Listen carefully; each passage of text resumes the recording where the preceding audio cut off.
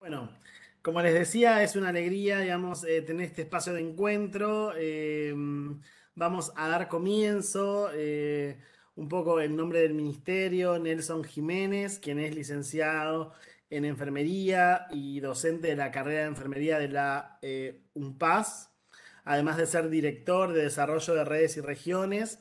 Nos, nos va a dar ahí la bienvenida por parte del ministerio y luego Alan por parte de la Universidad del Oeste.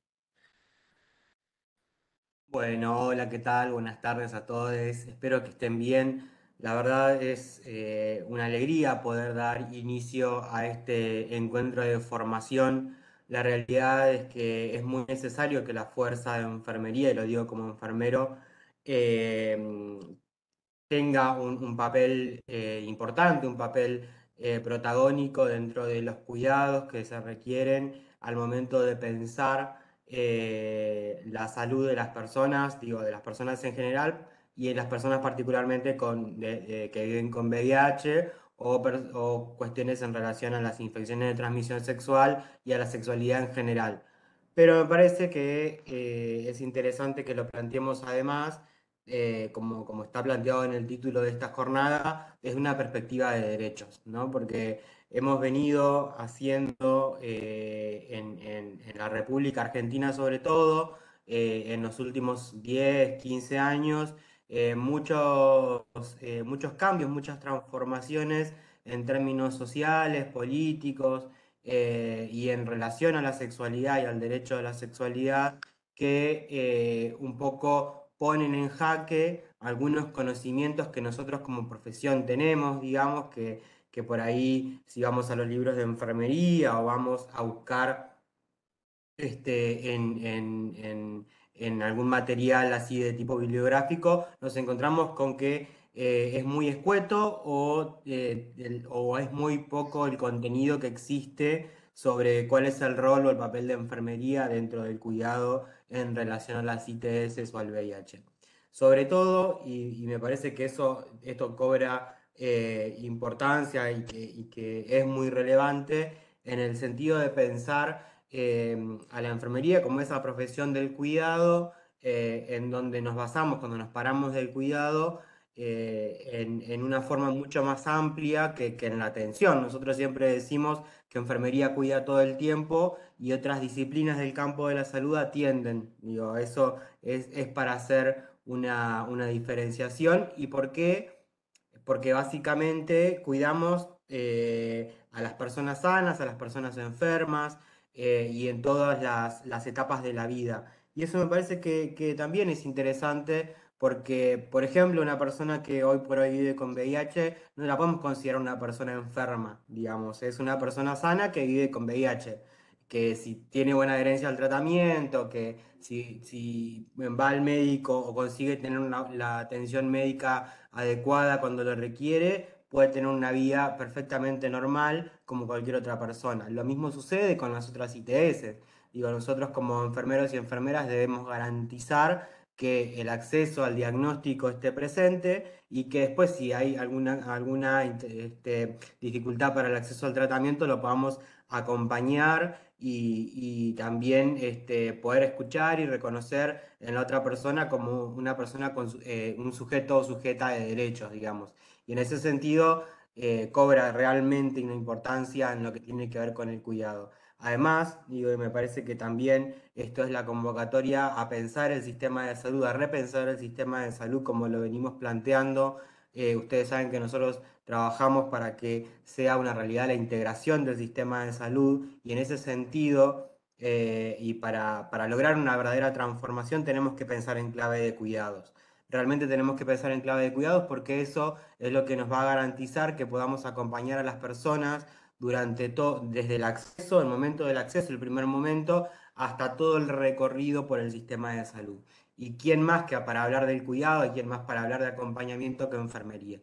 Así que bueno, por eso mismo saludo mucho este, esta jornada, este taller, me voy a quedar un ratito y la verdad me, interesa mucho que, que después podamos charlar y podamos este, tener conclusiones y debates respecto de cómo continuar. Yo creo que tenemos eh, eso, muchas herramientas para trabajar desde la enfermería y para brindar un cuidado digno y humanizado. Así que bueno, muchas gracias a todos.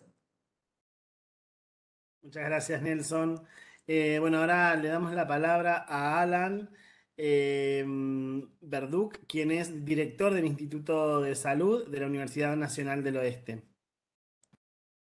Buenas tardes a todos.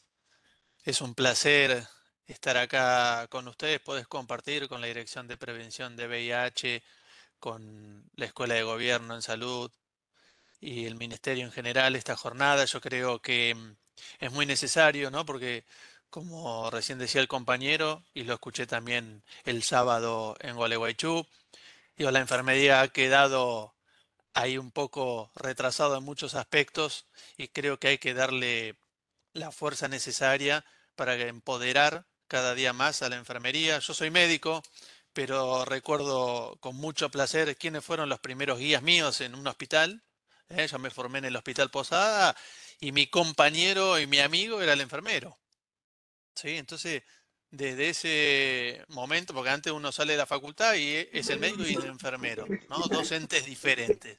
Pero al poder trabajar en el, por lo menos a mí me tocó un hospital eh, que trabajé con compañeros de verdad y los enfermeros fueron los primeros en darme una mano, en ayudarme, en estar ahí, en acompañarme en mis primeros pasos en un hospital. Así que a ellos yo le debo este camino recorrido. Así que para mí el reconocimiento es inmensamente grande para todos ellos y ellas.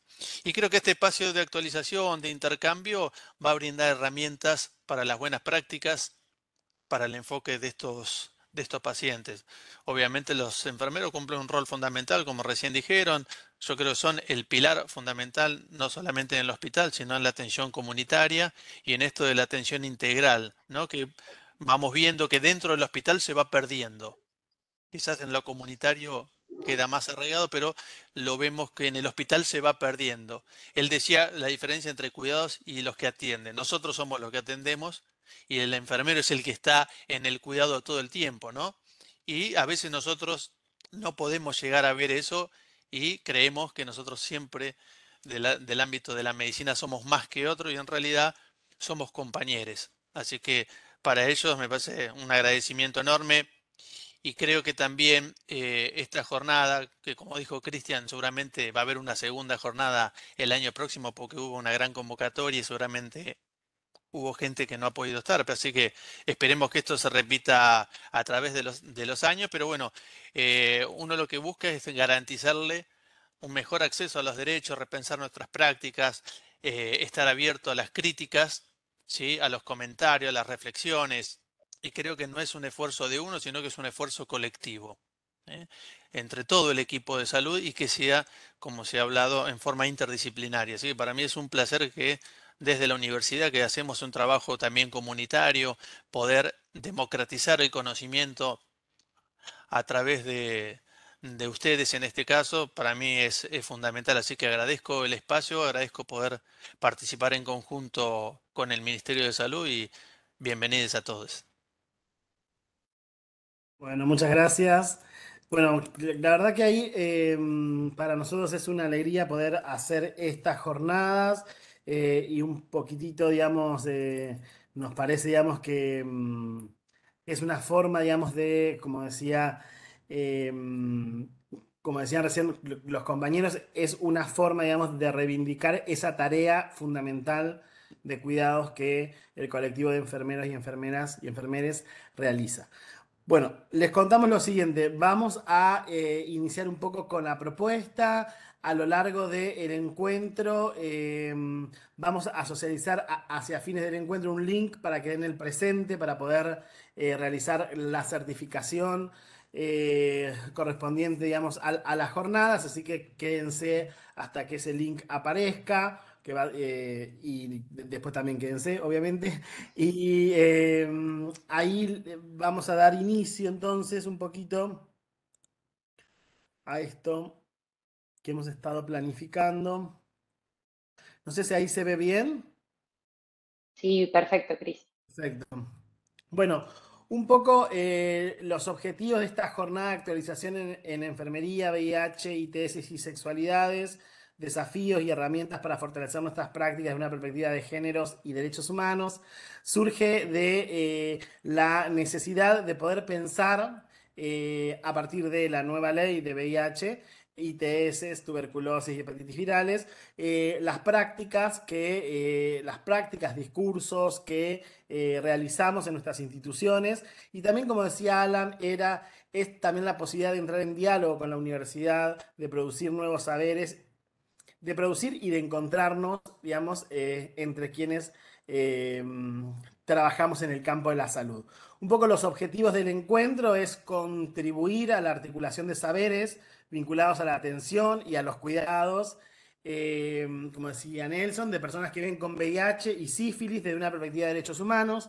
Hemos hecho un recorte, ¿sí? porque entendemos que si no es mucho tiempo, nos interesa principalmente hoy laburar temas vinculados a VIH y sífilis, aunque nombremos algunas cuestiones generales de las ITS.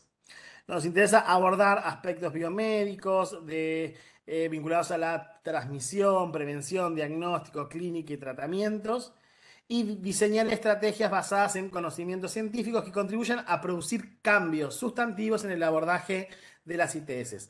¿Por qué una jornada de enfermería, no? Y bueno, y un poco entendíamos que eh, los enfermeros son y las enfermeras son actores claves dentro del sistema de salud, que ocupan un lugar estratégico en el territorio, que tienen un conocimiento del territorio porque tienen eh, muchas más horas, digamos, en, en, los espacios, digamos, eh, vinculados a la salud y sobre todo aquellos que se encuentran en el primer nivel de atención, ¿no? Si bien el, encuentro es para todos, pero pensamos que ahí hay una clave para pensar, digamos, em, eh, nuevas prácticas, ¿no?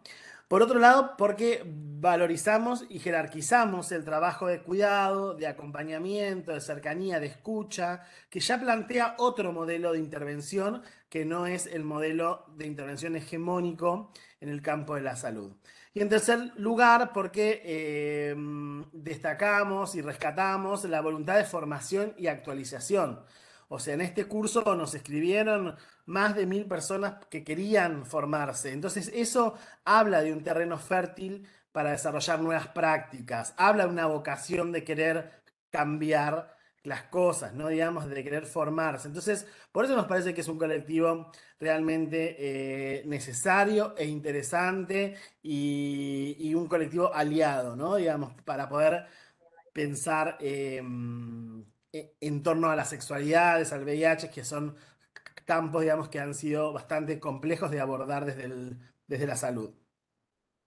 Cuando nos planteamos esta capacitación, un poco em, queríamos poner sobre la mesa cuáles son nuestras perspectivas de abordaje eh, como dirección de VIH y em, les compartimos, en principio, dos perspectivas, dos enfoques.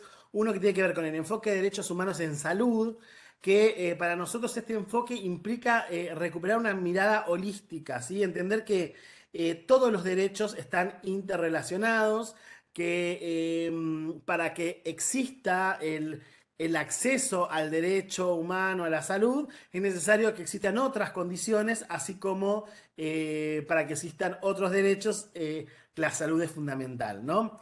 Y esta perspectiva de derechos humanos un poco eh, no es un adorno, digamos, al título, sino que es un posicionamiento en donde colocamos en el centro de nuestra intervención la vida de las personas. ¿sí? Em, incluso nos reconocemos como personas, ¿no? digamos, eh, y ejercemos también esos derechos. Se trata de un enfoque que obliga a incorporar la participación social en la gestión eh, de la política mm, sanitaria eh, y que busca, digamos, comunicar y mm, dar respuestas a las demandas que el pueblo, digamos, tiene, ¿no? El segundo, mi se me metió en el medio. En el segundo enfoque, hablamos de un enfoque de géneros, ¿no? Centrado en los cuidados y en el ejercicio libre de las sexualidades. este abordaje nos parece interesante porque nos invita a repensar de manera crítica cuáles son las lógicas que el patriarcado tiene en el campo de la salud. ¿Qué prácticas, qué discursos están naturalizados en nuestros espacios de laburo ¿sí? que reproducen esa desigualdad de género, ¿no? Eh, esas desigualdades de poder? Visibilizar estas relaciones de desigualdad eh, construye eh, perdón, em, visibilizar las relaciones desiguales que se construyen entre el género, los saberes y las prácticas. Y acá me parece que es interesante pensar el rol. Yo eh, me llamo Cristian, nunca me presenté, Cristian Torno, y soy trabajador social.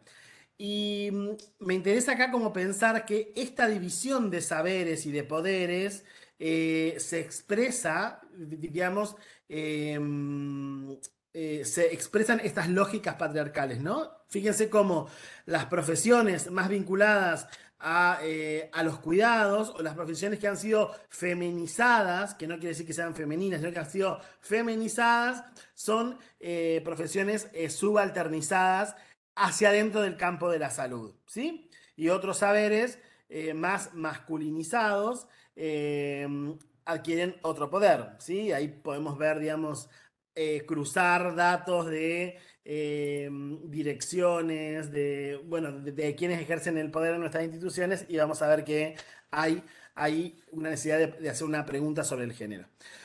Por otro lado, consideramos prioritario y estratégico para hablar sobre VIH e ITS em, eh, poder centrarnos en las prácticas sexuales, ¿sí? cuidadas, basadas en información basadas en el deseo, el consentimiento, el conocimiento y la soberanía sobre nuestros propios cuerpos. Acá rapidito, es decir, nuestra propuesta es como poder transformar las lógicas del modelo médico hegemónico, ¿no? Em, este modelo médico hegemónico que se ha consolidado, digamos, durante principalmente el siglo XX, siglo XIX, eh, tiene características em, que, em, que, nos permiten ver, digamos, un orden jerárquico, autoritario, una perspectiva biologicista que se sostiene en una mirada eh, que excluye otros saberes, ¿sí? que subalterniza otras formas de pensar la salud. ¿sí? Es, una, es un modelo que, eh, que es individualizante, que es cis heteronormativo, que presupone, que eh, presupone una idea de normalidad y de alguna manera se reconoce como garante de esa normalidad en el campo de la salud, que controla de alguna manera los cuerpos, ¿no? Em, y ante ese contexto general, contexto que no, eh, no existe por fuera de resistencias, ¿no? Digamos, y de prácticas distintas que realizamos en nuestros laburos, ¿no? Eh, que está siendo transformado.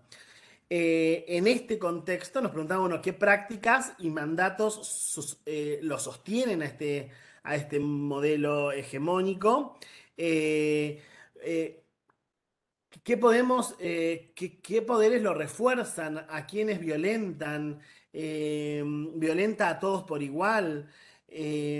¿Cómo se resiste? Y se desmantela este sistema, qué prácticas tenemos que crear desde nuestros lugares de trabajo en clave de construir salud desde una perspectiva de derechos humanos, desde una perspectiva de géneros. ¿Qué cambio tenemos que desarmar? ¿no? Un poco esto es, eh, lo recuperamos a partir de experiencias que nos llegan al equipo de derechos humanos de la dirección eh, en torno a sus experiencias por el sistema de salud. Primero, pensamos que es necesario para entrarle al tema del VIH y de las sexualidades y las ITS, es desnaturalizar nuestras propias miradas respecto a la sexualidad. Es decir, poder tomar distancia de lo que yo creo. ¿sí? Eso es fundamental. Y de que lo que yo creo es la regla para el ejercicio de la sexualidad de otros. En ese sentido, muchas veces lo que creemos está cargado de prejuicios, ¿sí? Entonces es necesario que podamos reconocer nuestra implicancia a la hora de abordar cuestiones vinculadas a la sexualidad. Por otro lado, necesitamos poner en el centro eh, de nuestras prácticas los cuidados y no los miedos ni los prejuicios. No podemos construir salud desde el miedo, desde discursos normativos, sino que hay que poner en el centro el deseo y el placer. Desarmar prácticas y discursos que presuponen la heterosexualidad obligatoria, ¿sí? El otro que viene no necesariamente es heterosexual, no necesariamente es monogámico, no necesariamente vincula eh, el sexo o la sexualidad con el amor, con el amor romántico, ¿sí? Es decir, son algunas cuestiones que quizás eh, cuesta desarmar porque, mm, porque están vinculadas a una idea de eh, normalidad, de lo sano, de lo bueno, pero que eso claramente es una lectura ideológica que, que marca un tipo de práctica, ¿no? Por eso pensamos que parte de este camino es potenciar la escucha, redistribuir el poder, ¿sí? Eh, saber que en el espacio eh, y en el campo de la salud tenemos un poder, ¿sí? y otros tienen más poder que nosotros al momento, digamos, de abordar estas situaciones. Eh, bueno, desarrollar redes y alianzas con las organizaciones de la sociedad civil. Y bueno, un compromiso ético, político y centrado en la persona un poco recuperábamos esta idea eh, de, de ONU-SIDA, ¿sí? que dice, las condiciones de salud y la garantía de los derechos humanos están estrechamente vinculados. La salud impacta en el ejercicio de los derechos y los derechos impactan en la salud individual y colectiva. Ese vínculo salud-derecho es inseparable. Uno necesita del otro, ¿sí? Em, y como decíamos, bueno, esto lo dice ONU-SIDA, no es que lo está diciendo, digamos, la nueva escuela de salud eh, centrada en la comunidad. No, no, no, lo están diciendo los organismos internacionales. Es necesario avanzar en, estas, em, en esta vinculación para entender el campo de la salud de una manera integral. Tenemos nueva ley, ¿sí? No sé si ustedes han escuchado, seguramente que luego de muchos años de lucha y organización de la sociedad civil principalmente, pero también en alianza con eh, algunos, eh, con algunas, eh, con otras personas, han logrado tener una nueva ley de respuesta integral del VIH, hepatitis virales y otras infecciones de transmisión sexual y la tuberculosis. Esta ley, la 27675, yo eh, al preparar esto solo rescaté el artículo 1, que me parece que jerarquiza ahí, digamos, pone el acento en, en ciertas cuestiones fuertes, después podemos socializarles, si quieren, un análisis más minucioso de la ley, pero esta ley declara de interés público y nacional, con lo que conlleva declarar algo de interés público y nacional, la respuesta integral e intersectorial, ¿sí? Y, eh, ahora vamos a entrar en esa, que es la única que, vamos a desarrollar. Em, declara como interés público también eh, las vacunas, los procedimientos, productos médicos, la prevención, el diagnóstico, el tratamiento y la cura del VIH y eh, las ITS. Esa cura necesariamente requiere la inversión en investigación y desarrollo de tecnologías en clave de insumos, de medicamentos y también eh, eh, pone el acento en la producción pública. ¿no? El punto D tiene que ver con la utilización de salvaguardas, que en realidad esto se vincula con la producción pública, ¿sí? permite que cuando em, eh, corre peligro, digamos, la salud de la gente puedan hacerse y producirse medicamentos sin Em, sin eh, que se priorice el derecho a la propiedad privada de las patentes, ¿no? Ese es, una, eh, es, un, es un punto político clave porque acá nos permite hablar de soberanía, ¿no? Por otro lado, la participación activa de las personas que viven con VIH, la promoción de más centros de testeos de diagnóstico, que eso es una línea que nos interesa ir charlando, y la disponibilidad de los medicamentos y tratamientos en los lugares donde residen las personas que lo requieren. ¿Cómo nos interpela a los y las enfermeras y les enfermeres la nueva ley? En principio, rescataba como esta idea de salud integral e interseccional. ¿Sí? ¿Qué implica esa salud integral e interseccional? implica eh, basarse en la estrategia de atención primaria de la salud, ¿sí? Garantizar la investigación, prevención, integración y eh, eh, la prevención integral combinada, que luego José va a hablar un poquito sobre esto, y centrarnos en la reducción de riesgos y daños del estigma, la discriminación y la criminalización de las personas que viven con VIH. ¿sí? Acá están separaditas las cuatro cosas que dije. Eh, me interesa pensar que pensemos ahí el laburo en territorio en torno al VIH, a la necesidad de, em, de que quienes viven con VIH no tengan que mudarse a otro efector para no ser conocidos, ¿sí? Eh, para que se les resguarde el derecho a, la privacidad. Pero sobre todo nos interesa pensar esto, ¿no? Digamos, perdón, la reducción de riesgos y daños de estigma, la discriminación y la criminalización.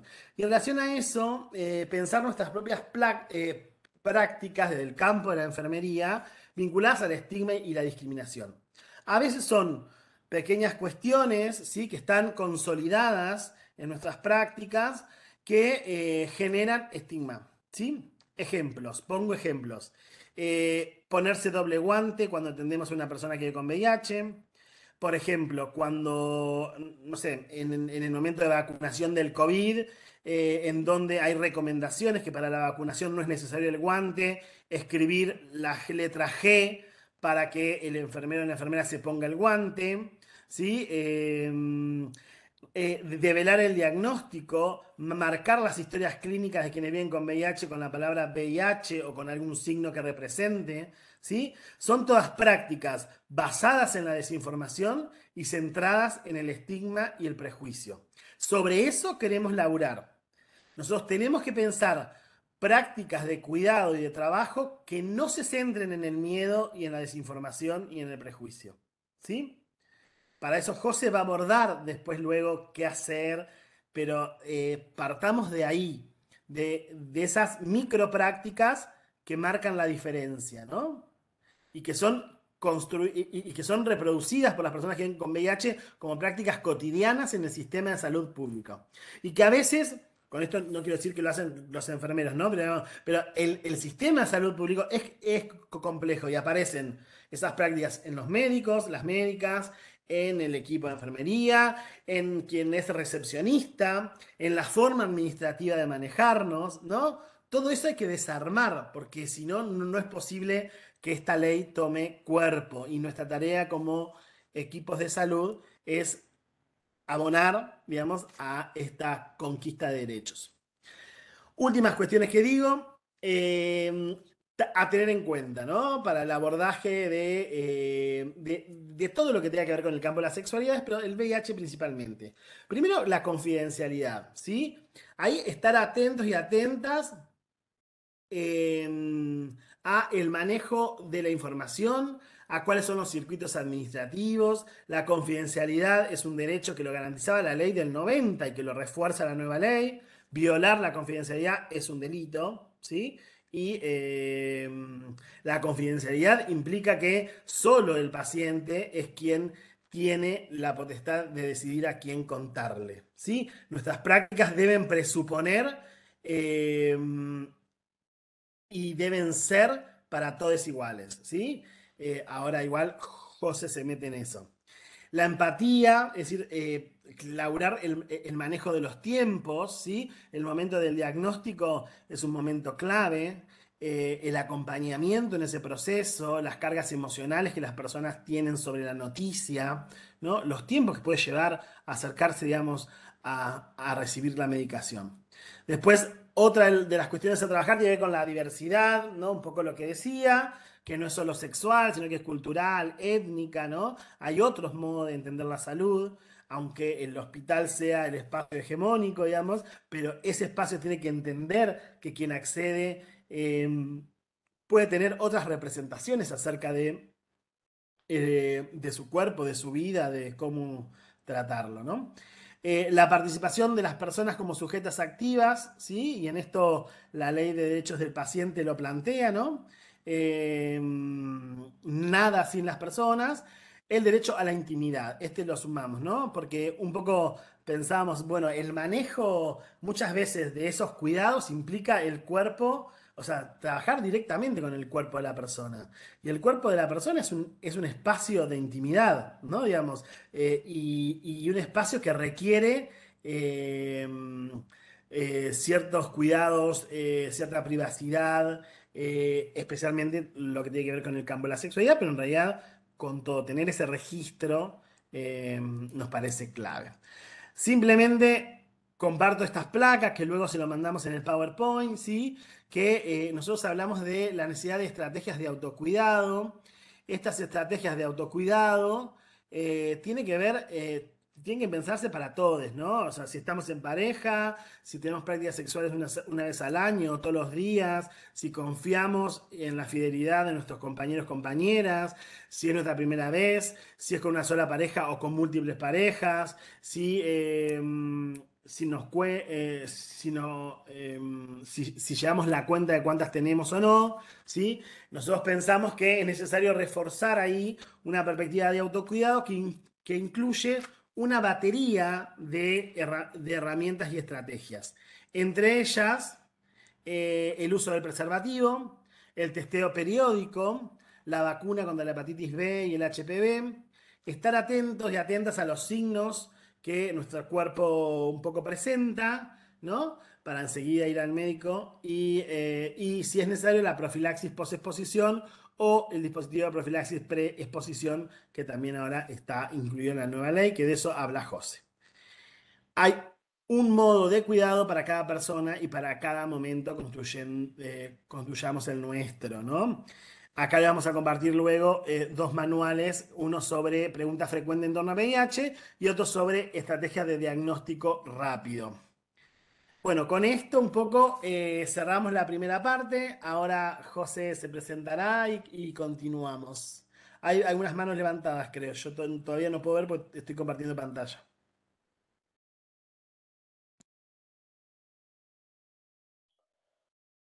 No vi manitos levantadas. Ah, sí, acá. No sé qué. Ah, no, ahí las cancelaron, me parece. eh, si quieren, avanzamos con mi presentación y después hacemos el encuentro final. ¿Te parece, Cris? Sí, perfecto. Dale, genial. Bueno, bienvenidos y bienvenidas. Yo soy Josefina, em, soy médica infectóloga eh, y trabajo en, la Dirección de Prevención de VIH, ITS y Hepatitis junto con Cristian y en el Hospital de Pergamino, que es este, región sanitaria cuarta en provincia de Buenos Aires, en la región norte de nuestra provincia. Eh, bien, Cris, avancemos. La idea es hacer ahora, en esta segunda parte, ¿sí? Una, este, este, tratar de, consolidar o de reforzar eh, conceptos de VIH y de sífilis puntualmente, que son hoy en día este, eh, dos infecciones de transmisión sexual de gran importancia vinculadas a la salud pública y al, y al impacto que tienen, ¿sí? Primero, brevemente, ¿qué es una ITS? ¿Qué es una infección de transmisión sexual? ¿Sí? Estas son un conjunto de eh, infecciones que pueden ser generadas por un montón de microorganismos, entre ellos pueden ser hongos, virus, parásitos y bacterias, en donde la principal vía de transmisión es la sexual. Digo que obviamente utilizamos el nombre de infección de transmisión sexual, la palabra misma lo dice, ¿sí? pero las infecciones de transmisión sexual también tienen otras vías de transmisión que no es exclusivamente la sexual, ¿sí? Eh, pueden desarrollar estas ITS un abanico muy importante este, de manifestaciones clínicas que puede ir desde asintomático absoluto o de enfermedades completamente leves que o que pasan inadvertidas, que quizás ni siquiera lo percibimos eh, y la resuelve nuestro propio, nuestro propio sistema inmune, eh, y en otro caso, sí puede generar realmente muchas complicaciones vinculadas hasta la muerte. ¿sí? Se es un abanico, como dije, muy, muy amplio y grande. ¿sí? Por eso es tan importante, más que nada, para abordar todo ese abanico, ¿no? Desde los asintomáticos, ¿sí? Que puede permanecer ahí latente en forma oculta eh, y manifestarse tardíamente ya con un compromiso eh, muy este, eh, importante en ese, cuerpo. Eh, todas, todas, todas las personas sexualmente activas se encuentran en riesgo de contraer esta infección de transmisión sexual.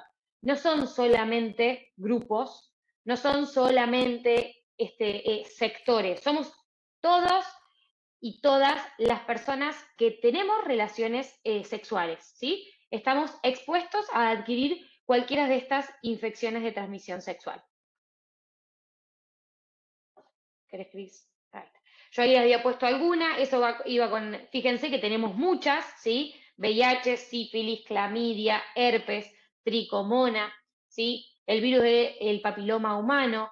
Fíjense que hay un montón, muchas, ¿sí? Y son muchas muy variadas, muy variadas. Eh, esa se repitió, es lo mismo, ¿sí? Pero fíjense que ahí nombré algunas de las más frecuentes de todas y todas tienen distintos mecanismos de transmisión, hay algunas que quedan viviendo con nosotros y ni nos damos cuenta, como el herpes, por ejemplo, el VIH es otro, ¿sí? Que no tenemos posibilidad de erradicarlo, de, de eliminarlo. Diferente es la sífilis, la gonorrea, la clamidia, en donde se hace diagnóstico, te tratas y te curas. Bien, ¿cómo se transmiten todas las ITS en general? Por vías sexuales, es decir, mediante relaciones sexuales no seguras, a través del contacto principalmente con semen, con líquido preyaculatorio, con fluidos vaginales, con sangre. Vía sanguínea, ¿sí? Por contacto con sangre o por compartir elementos cortopunzantes, ¿sí? Eh, vía perinatal, por los fluidos presentes en el proceso de la gestación, es decir, durante la gesta, durante el parto o la lactancia. Bien, estas ITS pueden tener una variedad importante de síntomas, los dijimos anteriormente, que pueden no generar nada, ¿sí? que esas quizás sí son las más peligrosas, entre comillas, pero porque hace que uno no consulte, que simplemente tenga que tener el hábito, que es buenísimo que así sea, de ir a testearse eh, periódicamente, de hacerse chequeos, consultas anuales, semestrales, ¿sí? Cosa de acceder al diagnóstico del grupo de eh, infecciones que no se manifiestan clínicamente, ¿sí? Pero después sí tenemos una variedad importante como heridas.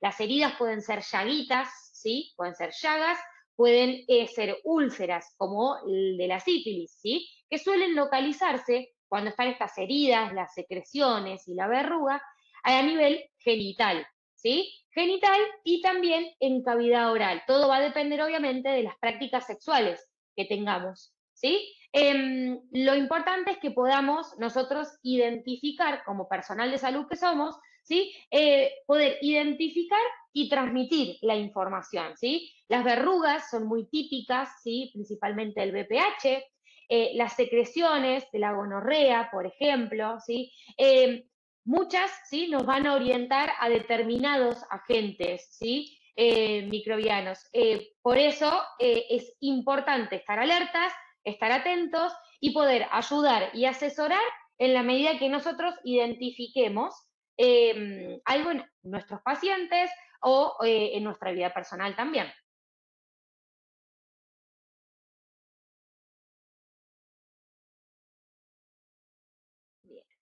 Vamos a arrancar entonces con VIH, ¿sí? ¿Qué es el VIH? El VIH, ¿sí? Es el virus de la inmunodeficiencia humana, ¿sí? Lo más importante es el cuadrito que está abajo, ¿sí? Hablando de VIH. VIH no es lo mismo que SIDA, ¿sí? Eso lo refuerzo y es requete contra importante que lo tengamos bien en claro, ¿sí? Porque no son, ¿sí? Entidades iguales. VIH es el virus de la inmunodeficiencia humana y SIDA es el síndrome de inmunodeficiencia adquirida. Es, ahora lo vamos a ver, el estadio final de la enfermedad. Es una, es enfermedad avanzada en el tiempo, ¿sí? VIH existen dos tipos, el VIH-1 y el 2, ¿sí? En general, la que tenemos en nuestro territorio es el VIH tipo 1, ¿sí? Es hoy en día una infección que no tiene cura, como muchos otros virus, ¿sí?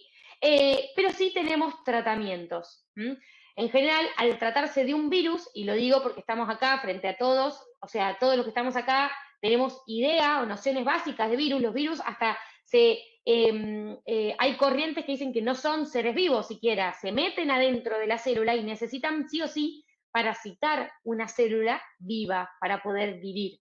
¿sí? Eh, debido a eso, debido a las características propias del virus, eh, son muy difíciles los virus de tratar, de erradicar. Hay algunos que cumplen un ciclo replicativo y se van, y hay otros que se quedan a vivir en nuestras propias células, y al vivir en nuestras propias células, no hay muchos antivirales ¿sí? que puedan lograr la erradicación, la eliminación, como si lo tenemos con los antibacterianos, ¿sí? Que son células, las bacterias. Em, con esto que quiero decir, no tiene cura como muchos otros virus, ejemplo, el herpes, ¿sí? que hay un montón de herpes también, pero sí tenemos tratamiento. Y el tratamiento, ¿sí? Eh, realizado adecuadamente, eh, genera ¿sí? que esa persona que vive con VIH pueda controlar los ciclos replicativos de ese virus, ¿sí? Y llevar una vida exactamente igual que una persona que no tiene VIH. Eso se logró por el avance de la ciencia y hoy en día contamos con un montón de herramientas ¿sí? que, eh, eh, que reafirman y reconfortan este, este, este hecho. ¿sí? Nosotros en el consultorio lo que decimos es, VIH es una enfermedad que es crónica, ¿sí? es una infección que es crónica. ¿Cuántas enfermedades crónicas tenemos? ¿Cuántas personas consumen medicación por enfermedades crónicas? Hoy en día, el VIH, ¿sí? las personas que viven con VIH toman una sola pastilla por día, la gran mayoría, una sola. Un paciente diabético, por ejemplo, tiene que tomar más de una pastilla, muchas veces se tiene que inyectar insulina, ¿sí? Para poder manejar su glucemia el hipotiroideo. Eh, o sea, hay un montón de enfermedades crónicas que están en la misma condición hoy en día, ¿sí? Eh, eh, que las personas que viven con VIH. El acceso a la medicación para controlar, en este caso, la replicación viral, ¿sí? Bien. ¿Qué pasa? Una vez que ingresa el VIH, ahora vamos a ver cómo ingresa, ¿sí? El VIH tiene un blanco particular. Ese blanco particular, es decir, a quién va a atacar primero y única célula, la que va a atacar principalmente, son las células de las defensas y principalmente los linfocitos T CD4, que intervienen ¿sí? Eh, en defendernos ¿sí? de nuestro, nuestro cuerpo frente a la interacción de un montón de microorganismos. Este virus, al ingresar, ataca esas células y va debilitando el sistema inmunológico porque va eliminando ¿sí? esas células que nos protegen eh, diariamente, ¿sí? Todo el tiempo sin que nosotros nos dieran cuenta, ¿sí? Al debilitar estas células, al eliminarlas, obviamente que nos deja expuesto, deja expuesto a esa persona a un montón de infecciones, porque ya no tiene quien defienda ¿sí? el ataque de ese microorganismo. Y ahí es donde comienzan a aparecer este, eh, las enfermedades que nosotros decimos enfermedades oportunistas, que básicamente se aprovechan de que eh, el virus se fue em, eliminando células de las defensas y fue liberando el camino para que estas enfermedades este, eh, puedan avanzar y generar justamente enfermedad en esa persona. Nosotros tenemos ¿sí? una línea cronológica en donde sin tratamiento, TARV, ahora les voy a contar, TARV es tratamiento antirretroviral, pero una persona que no accede al tratamiento, obviamente que previo a eso tiene que acceder al diagnóstico, y no accede al tratamiento, la historia natural ¿sí? de esta infección evoluciona más o menos, ¿sí? Este, eh, teniendo en cuenta tres, estadios. Una fase de infección aguda que eh, comienza en las primeras dos, cuatro semanas, que en general pasa completamente desapercibido porque no hay un signo o un síntoma que sea muy característico, ¿sí? Eh, en general pasa como un resfriado común. Me duele el cuerpo, tengo ganglios, ¿sí? adenopatías este, cervicales, uno se siente con fiebre, eh, pero nada que llame la atención. Muchas veces, hay otras veces que sí, van a la guardia, lo interpretan como un resfrío, eh, y ese evento pasa, pero no significa que se haya resuelto, ¿sí? Significa que ese virus ya logró instalarse en los linfocitos TCD4 y pasar a la siguiente fase, que es la etapa de latencia. Esta etapa de latencia es una etapa dormida, en donde el virus está, comienza ¿sí? a ir como este, desarmando nuestras defensas de a poquito. Ese de a poquito pueden ser muchos años, ¿sí? va a depender de nuestro propio cuerpo. ¿sí? Eh, pueden pasar muchos años sin que haya manifestaciones, ¿sí? Y cuando hay manifestaciones en esta etapa, suelen ser manifestaciones más este, em, importantes, no así como el resfriado, sino de que una persona puede tener quizás dos o tres neumonías al año, eh, lesiones en la piel que llaman la atención, digamos, son signos y síntomas que van evidenciando una pérdida de la inmunidad, ¿sí? Eh, y eso puede ser motivo de consulta em, en, eh, de cualquier especialidad médica por la guardia y demás. Y la etapa final, ¿sí? En la etapa final me refiero, en la línea cronológica, es la etapa SIDA, que es el síndrome de la inmunodeficiencia adquirida, dijimos, ¿sí? Síndrome es conjunto de signos y síntomas. Ahí es donde tenemos la enfermedad marcadora, esta enfermedad que es oportunista y que aparece cuando las defensas están muy, muy bajitas. ¿Sí? Estas defensas muy, muy bajitas, ¿sí? Hace que esa persona pueda, eh, o sea, esté expuesto a microorganismos que están completamente con nosotros viviendo, ¿sí? Este, y que esa persona puede generarle cuadros severos, ¿sí? Severos desde meningitis, eh, neumonías muy graves, eh, enfermedades en la sangre y demás, ¿sí? Pero para llegar a esa fase tiene que pasar mucho tiempo. Y este es un cuadrito, ¿sí? Que es muy conocido, que es la historia natural del VIH, pero fíjense ustedes que la línea, justamente la línea em, naranja, fíjense que hay un micrófono abierto, no sé quién. Em, la línea naranja, la que tiene un pico así muy alto, es la carga viral.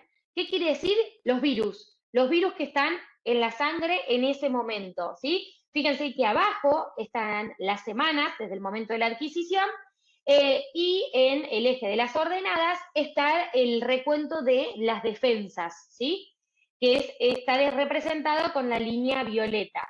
Fíjense que al principio los virus replican muy rápidamente, que en el transcurso de los dos primeros meses hay muchísima carga viral, hay mucha cantidad de virus, y luego empieza el periodo de latencia, que pueden ser muchos años, ¿sí? Eh, en donde más o menos el cuerpo intenta interaccionar intenta como tratar de evadirlo, pero sigue estando el virus, ¿sí? Y sigue avanzando, pero lentamente. Hasta luego, ya cuando las defensas están muy bajitas, hace el pico, ¿sí? Y nuevamente tiende a repuntar y mucho la, reproducción viral. Fíjense que lo, naranja va en contraparte de lo violeta, que son las defensas, y cómo las defensas nunca vuelven a la normalidad. Esto estamos hablando personas sin diagnóstico, sin tratamiento. Las personas con tratamiento, obviamente, ¿sí? los niveles de las defensas los vamos a tener en rangos normales y la carga viral la vamos a tener suprimida. Bien.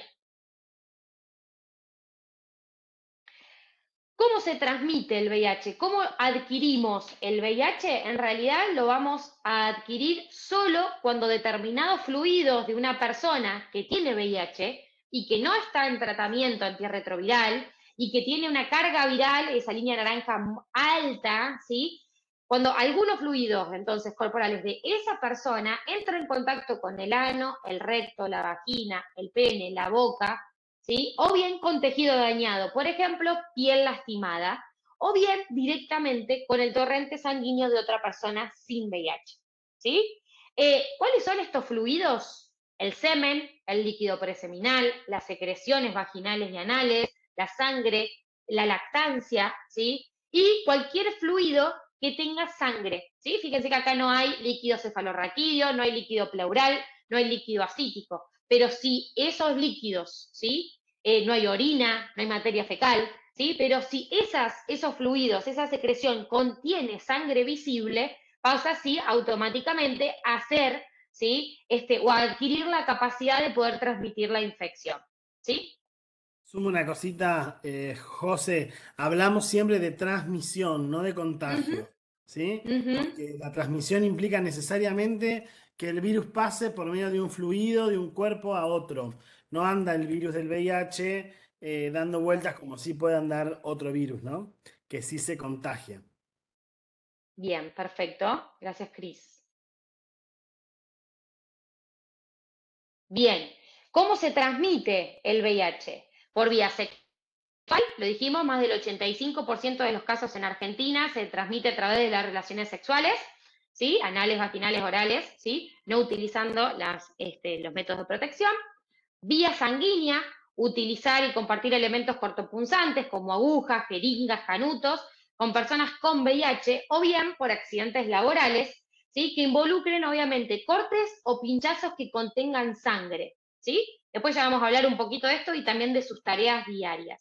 Y la vía perinatal, que puede darse la transmisión durante la gestación, es decir, durante el embarazo, durante el parto y también durante la lactancia.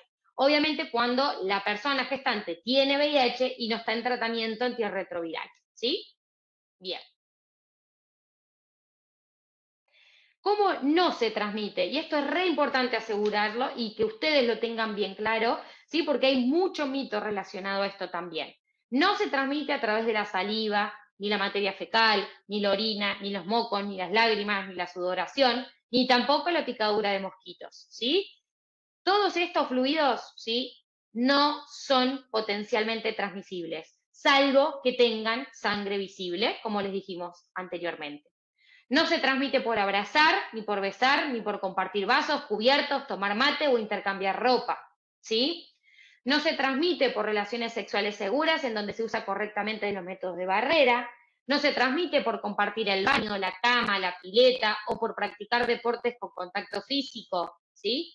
Y no se transmite por contacto con objetos personales ni contacto directo con piel indemne, ¿sí? Esto es re importante porque nosotros trabajamos en el ámbito de la salud y tenemos ¿sí? que brindarle asistencia a todas las personas por igual. ¿sí? Muchas veces ocurre, ¿sí? y lo digo también, obviamente, desde el ámbito médico eh, y colegas, eh, en donde uno tiene que observar estas, cuestiones, ¿no? El no se transmite es re importante. Vamos a cambiar sábana o vamos a llevarlo a hacer una plaquita o lo que fuera y si conocen el diagnóstico por algún motivo, como que se ponen absolutamente de todo, o incluso guantes, ¿sí? Cuando en realidad sabemos que no se transmite por contacto, no se transmite por tocarle la piel, por este, eh, abrazarlo, por tocar el entorno del paciente, por tocar su mesa de luz, sus sábanas, ¿sí? Entonces esto es sumamente importante porque hay un montón de eso en nuestras tareas diarias y ahora, mientras dure la charla, vayan repensando. Quizás ahora no, pero en algún momento seguramente, ¿sí? Ha pasado o han visto cómo colegas, ¿sí? O en el ámbito laboral han tomado alguna conducta relacionada a esto que es simplemente por desconocimiento, ¿sí? Bien. ¿Cómo diagnosticamos, ¿sí? A una persona que eh, eh, tiene VIH. Fundamentalmente, eh, la muestra que utilizamos es la sangre, ¿sí? Eh, lo podemos hacer mediante un test rápido o una prueba de sangre venosa, ¿sí? Eh, mediante la prueba de un ELISA, es lo que más se utiliza, ¿sí? Eh, esas son pruebas de tamizaje. ¿Qué quiere decir? ¿Sí? Es la primer prueba que nosotros hacemos como para iniciar el algoritmo diagnóstico. Un test rápido solito, uno único o un ELISA solo, no va a ser el diagnóstico definitivo de VIH, ¿sí? El diagnóstico definitivo de VIH lo vamos a tener con la carga viral confirmatoria. Entonces, después de un ELISA positivo o de una prueba rápida positiva, ¿sí? tengo que pedirle un nuevo estudio a mi paciente eh, para eh, sacarle carga viral, que es básicamente cuántos virus hay por mililitro de sangre. ¿sí? De esa manera, con esa carga viral, yo voy a poder sí iniciar el tratamiento antirretroviral, confirmar el diagnóstico eh, y eh, comenzar con el seguimiento del paciente. ¿sí? Eh, de lo contrario, ¿sí? Em, estamos ante un positivo preliminar, ¿sí? que necesita ser confirmado.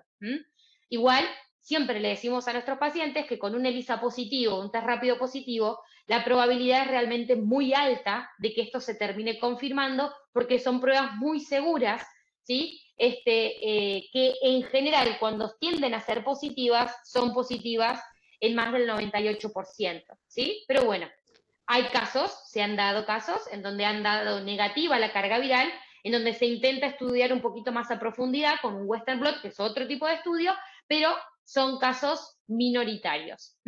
Sí es importante que ustedes sepan el periodo ventana, ¿sí? Que es el tiempo que tarda, ¿sí? El virus en que pueda ser detectado en el cuerpo, ¿sí? Y no es un dato menor. Ejemplo, en su ámbito laboral. Van a asistir a una persona, se pinchan, cualquiera sea, diagnóstico no importa, si es VIH positivo o no sabemos la serología.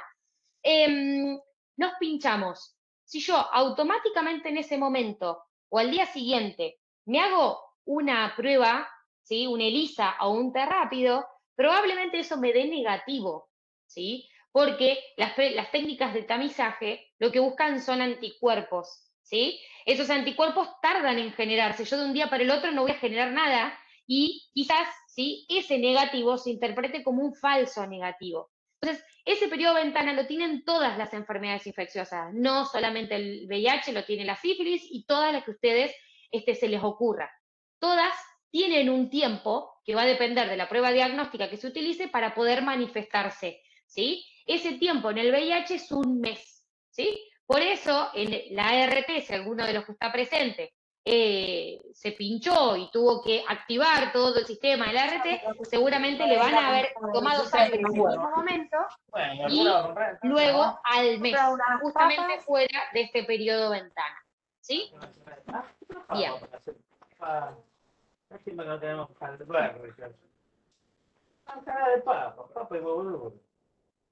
Ah, Cris, salió, salió la presentación.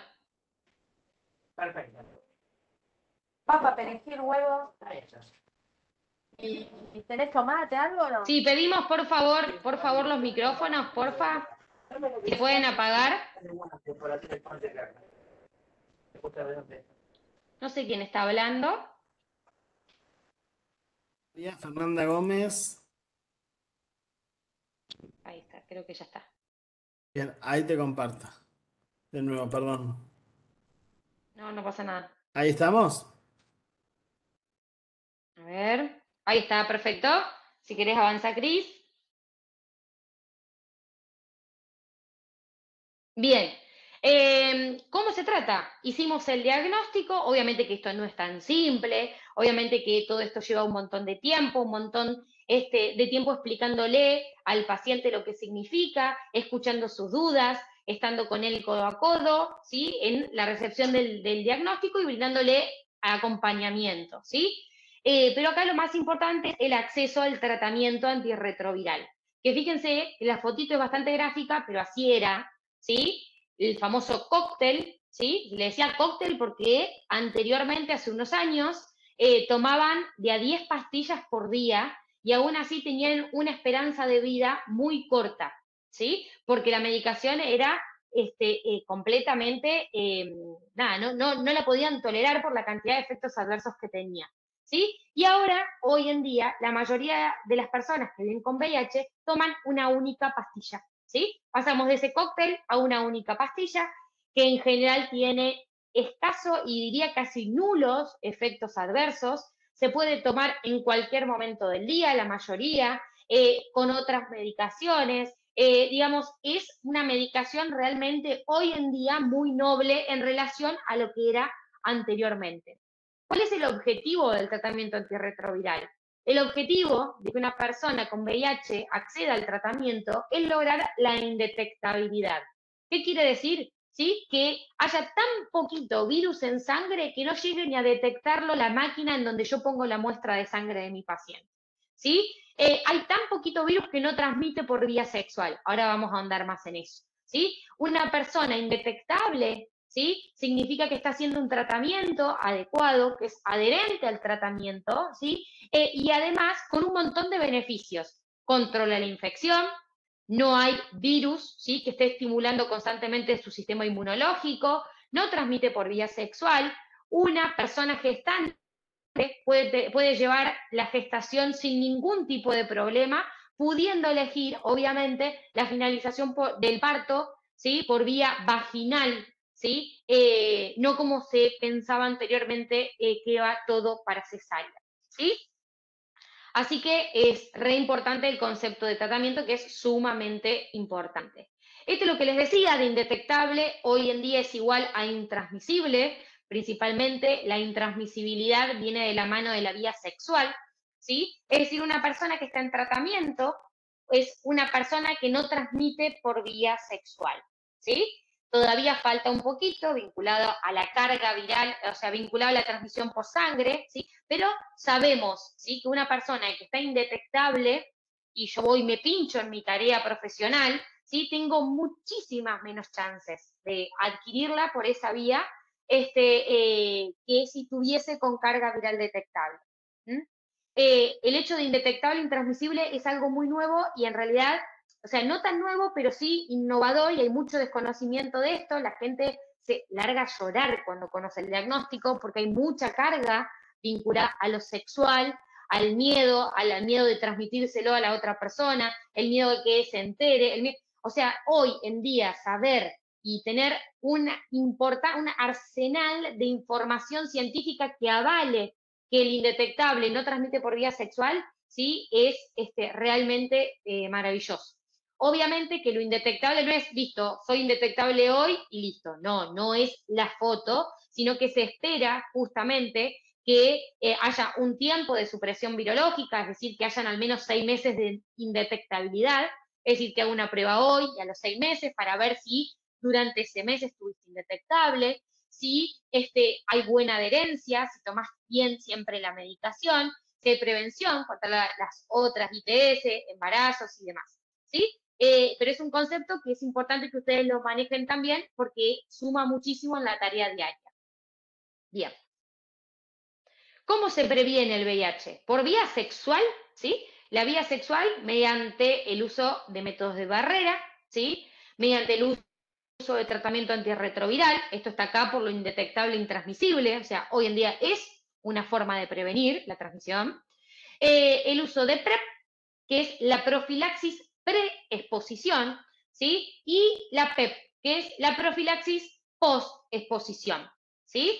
Eh, ¿Qué quieren decir? Ahora vamos a hablar un poquito de esto. La profilaxis pre-exposición hoy en día está en auge, hoy en día se está hablando un montón de la profilaxis pre-exposición y em, está destinada principalmente a poblaciones ¿sí? que em, conocen este, eh, que van a exponerse eh, a situaciones de eh, potencial riesgo, ¿sí? Entonces, eh, acceden al tratamiento antirretroviral eh, de manera única, tomando uno, dos, tres días de pastillas antes de, en ejemplo, el acto sexual particular. O bien lo pueden usar de manera continua, ¿sí? muy parecido al tratamiento antirretroviral, pero con este, otras drogas, ¿sí? y lo sostienen en el tiempo. Eso es principalmente este, para personas em, que eh, por ahí no pueden o no deciden, eh, digamos, usar métodos de barrera eh, en determinados momentos. ¿sí? La vía perinatal es la otra forma que tenemos que prevenir y lo hacemos mediante controles periódicos, controles gestacionales y tratamiento retroviral. Controles gestacionales es obligatorio el testeo de VIH en toda gestante. ¿sí? Es obligatorio y se hace en los tres trimestres e incluso en el puerperio, ¿sí? Y también por vía sanguínea. La vía sanguínea no intercambiando ni compartiendo jeringas, agujas, canutos o cualquier elemento que pueda llegar a tener sangre visible y elementos que deben ser de uso, o sea, son en realidad elementos que deben ser de uso personal y descartable, ¿sí? Bien. Esta PEP, digamos, la profilaxis post-exposición, ustedes seguro la conocen por sus tareas diarias, ¿sí? Que consiste justamente en la toma de antirretrovirales eh, por parte, digamos, eh, implica el consumo de antirretrovirales eh, por parte de personas que no tienen VIH, ¿sí? Pero que estuvieron expuestos a una situación potencialmente riesgosa. Principalmente acá dentro de la profilaxis post-exposición hay dos abanicos grandes la vinculada a lo ocupacional, que vendríamos a hacer, digamos, eh, en este caso, en el ámbito de eh, colocar, eh, no sé, sacar sangre, colocar una guía de suero, administrar medicación, entrar en contacto accidental con sangre dentro de la higiene de la persona y demás, ¿sí? Eso es ocupacional. Y después tenemos la profilaxis post-exposición, que no es ocupacional, ¿sí? Que también tiene, obviamente, el mismo objetivo, ¿sí? Es decir, con, en, em, digamos, adquirir el tratamiento antirretroviral ¿sí? Durante un periodo establecido por una situación de posible exposición que tuve, ¿sí? Eh, ¿Cuáles son esas situaciones que no están vinculadas a lo ocupacional? Relaciones sexuales sin preservativo o bien uso de preservativo, pero se rompió el preservativo, ¿sí? En el medio. Víctimas de abuso sexual o violaciones. Y haber utilizado elementos cortopulsantes compartidos con otras personas eh, o, bueno, el tema del ámbito laboral o accidentes laborales que entraría dentro de la profilaxis post-exposición, pero ocupacional. ¿Qué tenemos que hacer, sí? Frente a, este, dentro de nuestra tarea asistencial, ¿sí? Eh, con una persona con diagnóstico de VIH, ¿sí? Esto no pasa siempre, ¿sí? En las salas de internación, en las consultas de guardia, donde ustedes se desempeñan como profesionales.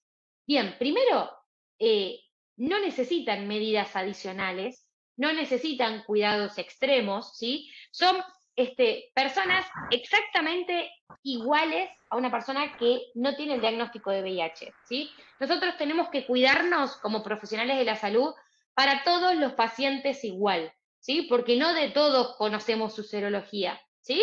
Primero por eso, y después porque tenemos que tener la costumbre de absolutamente nuestras prácticas hacerla segura por los pacientes y por nosotros mismos, ¿sí? nosotros mismos, este, eh, para hacer tareas eh, y tener y brindar este, con seguridad nuestro trabajo.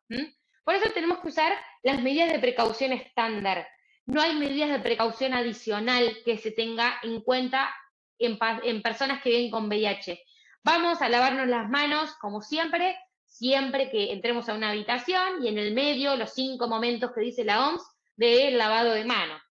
Vamos a usar guantes solamente si vamos a entrar en contacto, ¿sí? O si hay riesgo de entrar en contacto con fluidos que sean potencialmente, ¿sí? Este, eh, infecciosos, ¿sí? Si no, no, no, no hace falta usar guantes para ocultar no hace falta usar guantes para tomar la presión o para tomar la temperatura, porque como bien sabemos, no se transmite por esa vía, ¿sí? Eh, vamos a usar gafas y camisolín cuando hagamos algún procedimiento que pueda emitir aerosoles o que pueda generar salpicaduras, ¿sí? Lo mismo que los barbijos. Y obviamente, la más importante es no encapuchar nunca, ¿sí? Este, las agujas, sí usar el descartador. Y esto lo digo principalmente porque hemos visto, ¿sí? Muchísimo, y seguramente que si ustedes rebobinan en sus mentes, como dije antes también, prácticas, ¿sí? De colegas eh, que eh, involucran un cuidado adicional cuando no debe ser así, ¿sí? Primero, no conocemos. Si tenemos 30 pacientes a cargo en la sala junto con compañeros enfermeros, no sabemos la serología de los 30. Por saber serología de una persona, porque lo lo dijo el colega médico o lo dijo eh, el propio paciente, no tenemos que tomar todo nuestro kit de, cuidado personal porque nada, no tiene sentido, ¿sí? Sabemos de uno, son 30, ¿por qué no hacemos con los 30 si no testeamos a los 29 restantes? Para todos tenemos que proceder de la misma manera, ¿sí? Eh, trabajando sin estigma ni discriminación, que viene de la mano con esto, respetando el secreto profesional. Esto es re importante también, y lo digo porque también lo hemos visto, lo dijo Cris también, en las hojas de indicaciones, ¿sí? En las hojas de indicaciones médicas yo he visto bastante, y lo hemos trabajado también, VIH en grande. O sea, control de signos vitales, eh, el plan de hidratación, el antibiótico, tutú, VIH gigante. ¿Por qué? Si ese lugar Primero, ¿por qué tan grande? ¿Por qué el diagnóstico de esa manera así? Si al diabético no le ponen diabético en gigante o al hipertenso no le ponen hipertenso en gigante, ¿sí? Los cuidados son iguales para todos y para todas, ¿sí? Eh, y aparte recuerden que es secreto profesional. Si justo pasa un familiar y ve la carpeta, si justo esa carpeta quedó en el pasillo por algún motivo y pasa cualquier persona y la ve, no estamos cumpliendo con este, el secreto profesional este, eh, tan importante que tenemos todos y todas los que trabajamos en el ámbito de la salud. Recordando que el VIH es una infección que es crónica y que no necesita una atención particular, como para leer el, último ítem. Por esto yo lo charlo y después lo comentamos entre todos, que quiero escucharlos ustedes a ver también, porque también son, son experiencias personales, ¿no? La profilaxis por exposición ocupacional, que es lo que les dije anteriormente, acá en este caso lo más importante ¿sí? Es tener en cuenta, eh, digamos que está el servicio, la ART, por el cual en nuestros sueldos, ¿sí? Hay una parte que va obligatoriamente a eso, a cubrir el, seguro en nuestro trabajo, eh, y hay que llamarlo inmediatamente, ¿sí? Igual eso, ¿sí? No quita que le avisemos a farmacia y que le avisemos a infectología, si es que tienen servicio de infectología, para que nos ayude a organizarnos, a orientarnos y también a acceder al tratamiento lo antes posible, porque la profilaxis no es indefinida. Tenemos tiempos que son de oro, le decimos nosotros, que son 72 horitas, 72 horas desde ese eventual accidente, ¿sí? Mientras más antes iniciemos el tratamiento, ¿sí? Mejor es, este, o más efectiva es la profilaxis, ¿sí? Bien. Eso con VIH. Ahora con sífilis, que es más chiquitita, más cortita. Bien, ¿qué es la sífilis? La sífilis es una infección de transmisión sexual que en este caso es una bacteria, no es un virus. Esta bacteria se llama Treponema pallidum. Al ser una bacteria, ¿sí? tenemos antibiótico y ese antibiótico, por suerte, todavía es la penicilina. Digo por la resistencia antimicrobiana y todo lo que seguramente ustedes están escuchando dentro de sus eh, lugares de trabajo. Es la ITS hoy en día más frecuente en nuestro medio, es la principal causa de muerte fetal en la región. Si alguien acá trabaja en pediatría o en neo o en maternidad, lo va a poder certificar porque hay muchísima sífilis. Es una enfermedad que es curable, ¿sí? pero que no deja inmunidad. Es decir, haces el diagnóstico, haces el tratamiento, te curás, pero no te da inmunidad. Es decir, que si vos al mes siguiente, el año siguiente, en cinco años o en diez años, volvés a entrar en contacto nuevamente con esta bacteria, volvés a adquirir la infección y nuevamente vas a tener que hacer el tratamiento, ¿sí? En la actualidad, como es la principal ¿sí? ITS en nuestro medio, es un problema de salud pública, principalmente por la afectación a nivel, ¿sí? Em, durante la gesta, ¿sí? Lo mismo, el mismo cuadrito y la misma secuencia. Cuando una persona con sífilis no accede al diagnóstico oportuno, la historia natural de la sífilis va a evolucionar en años, ¿sí? En años. Tenemos por un lado la sífilis primaria, que es el famoso chancro, el chancro sifilítico, que suele aparecer en la puerta de entrada, le decimos nosotros. Esa puerta de entrada puede ser a nivel genital, perianal, en la región de la boca, la cavidad oral. Eso va a depender, obviamente, del hábito sexual de cada persona. Es una lesión que es bien típica, suele ser única y es una úlcera, es decir, es un pocito en la piel que no duele generalmente y que suele tener una adenopatía ahí satélite relacionada, ¿sí? Y que con el tiempo, nada, una semana, 10 días, desaparece y no deja cicatriz, ¿sí? En general, en las personas que tienen útero, eh, es difícil, pero porque no tenemos el hábito de revisarnos los genitales, pero no genera flujo, no genera olor, y si estas lesiones están en los labios internos, en la vagina, pasa completamente desapercibida. En los casos de las personas que tienen pene, es más fácil porque es visiblemente, si está en el pene, lógicamente, visible, es visible la lesión y suelen consultar este, rápidamente. Lo mismo en la región anal perianal, ¿sí? Porque, como les dije, no genera secreción, no genera picazón, ¿sí? Por eso es muy importante la inspección, ¿sí? Desaparece, esa es la sífilis primaria, desaparece esa lesión, y evoluciona en un par de semanas a la sífilis secundaria. El hecho de que haya desaparecido no significa que se haya curado esa, esa persona, significa que la bacteria dejó la puerta de entrada y ahora está por todo el cuerpo. ¿sí?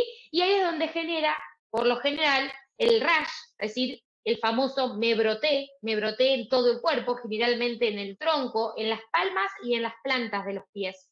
¿sí? Puede haber caída de cabello, puede haber lesiones a nivel de la cavidad oral, que son muy típicas, puede haber lesiones a nivel de los genitales, tipo verruga. Pero también se le dice la gran simuladora, porque puede tener un poco de fiebre, un poco de cansancio, un poco de dolores musculares, puede ser cualquier cosa, ¿sí? Esa fase, ese momento pasa, ¿sí? Por ahí pensaste que el rash o esa erupción era alérgico, tomaste un Benadryl, pasó, y listo, pensás que te curaste y no, no te curaste, la bacteria sigue dando vuelta. Y hasta ese momento seguimos nosotros transmitiendo la bacteria este, en eh, nuestros, en este caso, em, actos, en nuestros actos sexuales, en las relaciones sexuales. Durante años, ¿sí? Podemos estar en ese estatus sin siquiera alguna manifestación clínica. Para llegar a la etapa final de la historia natural de la sífilis, que es la sífilis terciaria, que mucho no se ve hoy la realidad, que cuando es ya cuando la bacteria empieza a complicar nuestro corazón, nuestro sistema este, eh, circulatorio, eh, nuestra piel eh, y también pudiendo afectar nuestro cerebro, ¿sí? Obviamente que todo esto es sin penicilina de por medio. Si logramos acceder al tratamiento, cortamos la historia natural, no avanza más, ¿sí? Bien, la vía de transmisión, vía sexual, vía perinatal, la sexual, lo mismo que para el VIH, la transmisión en este caso ocurre cuando una persona sin sífilis entra en contacto con lesiones bien típicas, tanto de la sífilis primaria como de la sífilis secundaria, o una persona que desconoce, que no tiene síntomas, ¿sí? y que sigue transmitiendo la enfermedad a través de relaciones sexuales sin protección. Y también es esto el problema de salud pública que tenemos, que es la vía perinatal. ¿Qué sucede cuando una persona embarazada con sífilis se la transmite al eh, hijo o hija durante el embarazo, el parto, eh, pudiendo generar secuelas graves. Como les dije, la principal causa de muerte fetal en toda la región. Bien, ¿cómo hacemos el diagnóstico? Estas ustedes seguros las conocen. Las pruebas directas, directamente vamos a buscar la bacteria, eso generalmente no se usa por disponibilidad de recursos, es muy complejo y la bacteria es difícil de que crezca, mientras que lo que más se usa son las pruebas indirectas. Las pruebas indirectas tenemos la famosa BDRL, ¿sí? que es con la que se inicia el diagnóstico, y em, eh, o sea, que es una prueba no treponémica, que es una prueba de tamizaje, como habíamos dicho, el test rápido o el ELISA para el VIH. Con una BDRL positiva, pasamos a una prueba sí confirmatoria, una prueba treponémica. Bien. Y acá tenemos los dos algoritmos. El algoritmo tradicional, que seguramente es el que conocen, con una muestra de sangre hacemos una prueba eh, no treponémica, que es la BDRL. Si la BDRL da positiva, hacemos una prueba treponémica, que es una FTA, una prueba rápida, etc. El algoritmo reverso arranca al revés, arranca con una prueba treponémica, principalmente ¿por qué? Por el acceso ¿sí? del test rápido.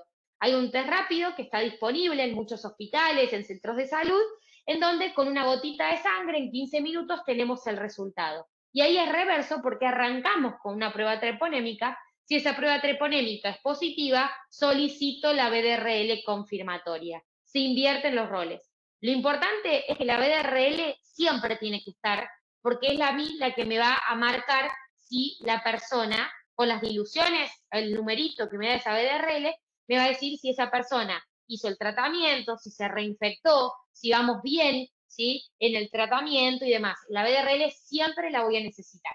Bien. El tratamiento de primera elección, ya me adelanté antes, es la penicilina, la penicilina intramuscular. ¿Sí? Solamente vamos a dar como alternativa otros tratamientos en personas en los que constate, constate perdón, una alergia severa ¿sí? a la penicilina. ¿sí? La cantidad de dosis de penicilina va a depender del estadio en el cual yo haga el diagnóstico. Si hago el diagnóstico en la sífilis primaria, en la secundaria o en la latente precoz, que es hasta el año de, haber adquirido la, infección, es única dosis. Con una sola dosis, ya esa persona se cura, ¿sí? Con tres dosis, una dosis por semana, en aquella sífilis en donde no puedo identificar el momento de eh, la adquisición, ¿sí? O sea, no, no, relata lesiones, no relata rash, no relata nada particular el paciente, no, lo, no se acuerda. En ese caso son tres dosis, una por semana. Es re importante, ¿sí? Una por semana que se respete al pie de la letra, si no se reinicia el esquema, ¿sí? Si son los lunes, tienen que ser tres lunes seguidos, ¿sí? No puede venir un lunes, un miércoles y después viene un sábado, ¿sí? Porque el antibiótico se da cada siete días por la vida media justamente del de el antibiótico, ¿sí? Si ese paciente viene dos días después, probablemente ya perdimos el efecto de la dosis anterior y tenga que reiniciar el ciclo nuevamente, ¿sí? Por eso es tan importante pautar en la primer consulta las dos dosis siguientes, ¿sí? por si esa persona tiene algún evento, un viaje y demás, ¿sí? Eh, para que se pueda priorizar el respetar los intervalos, ¿sí? Bien, obviamente que eh, el tratamiento durante la gesta previene el desarrollo de sífilis congénita, ¿sí? Bien, esta alergia a la penicilina, fíjense que yo ahí solo le hablé de penicilina, no le hablé de otras alternativas, principalmente porque es la única droga, ¿sí? Que funcionó y es la mejor, ¿sí? Este, para poder eliminar al treponema pallidum. Por eso, ¿sí? Eh, no vamos directamente a la alternativa, porque aparte las, a las alternativas en general son, pueden ser menos efectivas y tardan entre 14 y 21 días, son 14 y 21 días de tratamiento con pastillas versus una única dosis de penicilina o tres dosis en su defecto. ¿Sí? Entonces, ¿quién accede solamente a tratamiento alternativo? ¿Sí? Aquellas personas que documenten alergia severa. Las reacciones dermatológicas, el famoso rash vinculado a la amoxicilina o a la penicilina, no es una contraindicación para recibir penicilina. ¿sí? ¿Cuáles son las contraindicaciones? dificultad respiratoria, caída brusca de la presión, náuseas, vómitos, trastornos cutáneos graves, angiodema, ingreso a terapia intensiva, un síndrome de Steven Johnson, que es esa necrólisis epidérmica tóxica, o sea, todos eventos graves, ¿sí? Y todos eventos que ocurren en el transcurso de la hora de haberse colocado la dosis de PENI, ¿sí? No al día siguiente o a los dos, tres días de haberse colocado la penicilina, ¿sí? porque ahí seguramente me dio otro factor.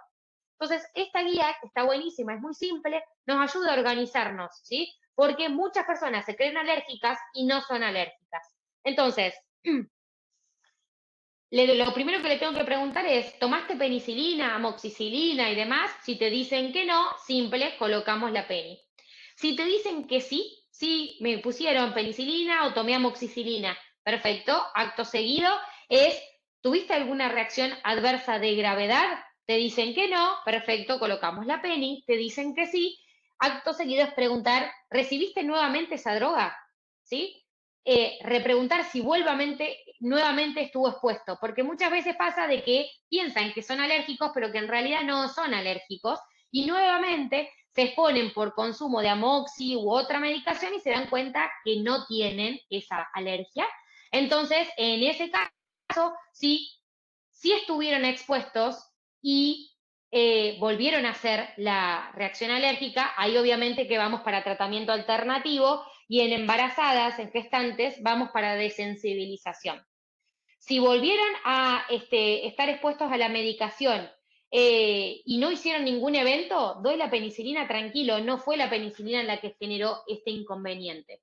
Y si no volvió a estar expuesto nunca más después de ese evento grave, obviamente que ahí sí voy a una alternativa eh, o a una desensibilización. ¿Sí?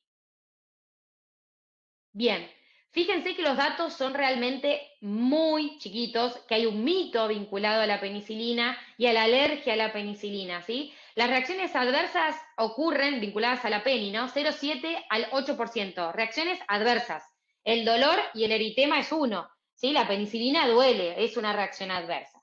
Reacciones anafilácticas, que son estas que hablamos recién, fíjense que ocurren en el 0,04 al 0,015%, o sea, cuatro personas cada 100.000 dosis que aplique. La mortalidad vinculada a esto, ¿sí? Es, fíjense, de 50.000 a 100.000 personas, o sea, eh, fíjense que, perdón, lo leí mal, la mortalidad es 0,01500, o sea, es ínfima, ¿sí? Y fíjense más abajo que la alergia al diclofenac es superior a la de la penicilina. Y nosotros, ¿sí? Damos muchísimo más diclofenac, ¿sí? En la guardia que penicilina. El diclodexa sale siempre en todas las guardias. Para cualquier tipo de dolor es el combo de McDonald's, eh, en cualquiera... Bueno, el diclodexa. Eh, y el diclofenac, ¿sí? Tiene un componente, una predisposición a generar alergias ¿sí? Mucho más frecuente que la propia penicilina, ¿sí? Bien. Entonces, esto a modo recordatorio y para no reiterar de nuevo, ¿sí? Los antecedentes de anafilaxia es la única contraindicación aprobada, ¿sí? Para la aplicación de penicilina. Tienen la guía, tenemos el algoritmo de cómo proceder y si me da duda, obviamente lo consulto, derivo al alergista para desensibilizar en el caso de la gestante o doy tratamiento alternativo por 14 a 21 días. ¿Sí? Bien, perfecto.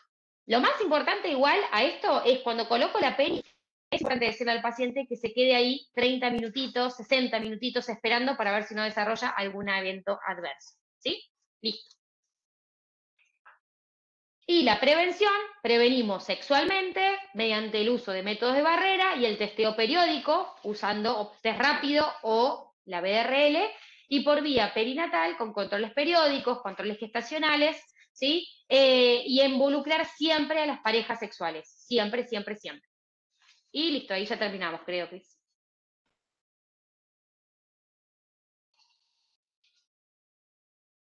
Ahí vamos. Eh, bueno, muchas gracias, José. Ahí un poquito estuve siguiendo el chat, hubo un montón de, intervenciones y de preguntas, que ahí te voy tirando algunas mientras se van animando a tomar la palabra y a preguntar. Em, preguntaban, bueno, sobre cuánto tiempo tiene que, tras, eh, que transcurrir entre que em, contrajimos el virus del VIH y se puede detectar, eso ya lo contaste con el periodo ventana. Son tres meses. Luego pregunta... Un mes, perdón. un mes, perdón, perdón. Tres semanas, tres semanas a cuatro, un mes. Mm. Luego preguntan si en la etapa de latencia del virus del VIH se transmite. Sí, se transmite siempre, porque el virus sin tratamiento, el virus está todo el tiempo replicándose en el cuerpo. Pasa que no genera manifestaciones clínicas en ese momento, ¿sí? Pero durante la latencia se transmite siempre. Bien, después alguien preguntaba si, eh, cuáles son los eh, efectos adversos de los tratamientos antirretrovirales. No, los tratamientos adversos, y los tratamientos, perdón, los efectos adversos realmente hoy con la medicación que tenemos disponible eh, son realmente muy escasos, ¿sí? son muy, muy poquitos.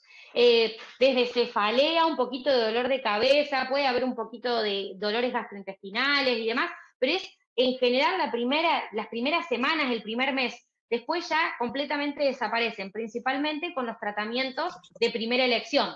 Los pacientes que ya vienen experimentados, es decir, con años de tratamiento eh, y este, con, en general ya habiendo pasado muchos tratamientos previos, por ahí eh, tienen disponible otro tipo de, drogas que por ahí sí pueden generar algunos efectos adversos como insomnio y demás, pero no son eh, drogas que se utilicen de primera elección, son drogas hoy alternativas en personas que ya tienen el virus hace mucho tiempo y que quizás no han sido los, adherentes al 100% y el virus adquirió resistencia y hace que nosotros tengamos que usar medicaciones que no son este, eh, la, elección hoy en día.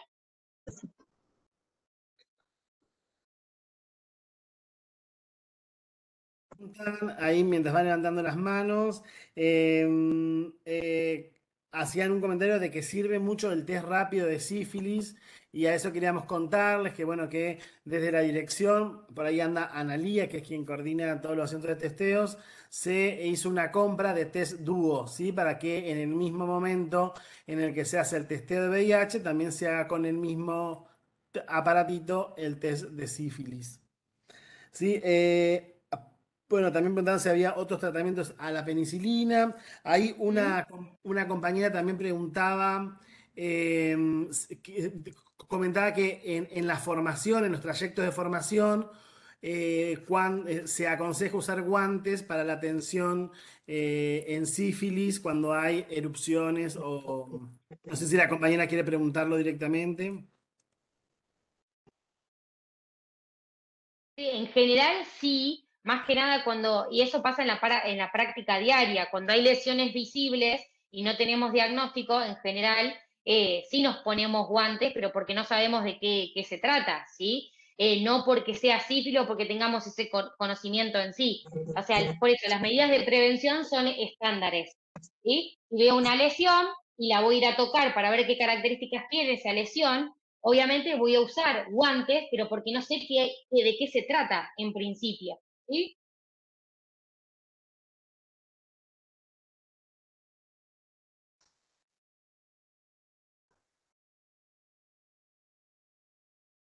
Bien, alguien ahí que, mm, que levante la mano si quieren. Cristian, estoy sin cámara porque tengo muy poca conectividad.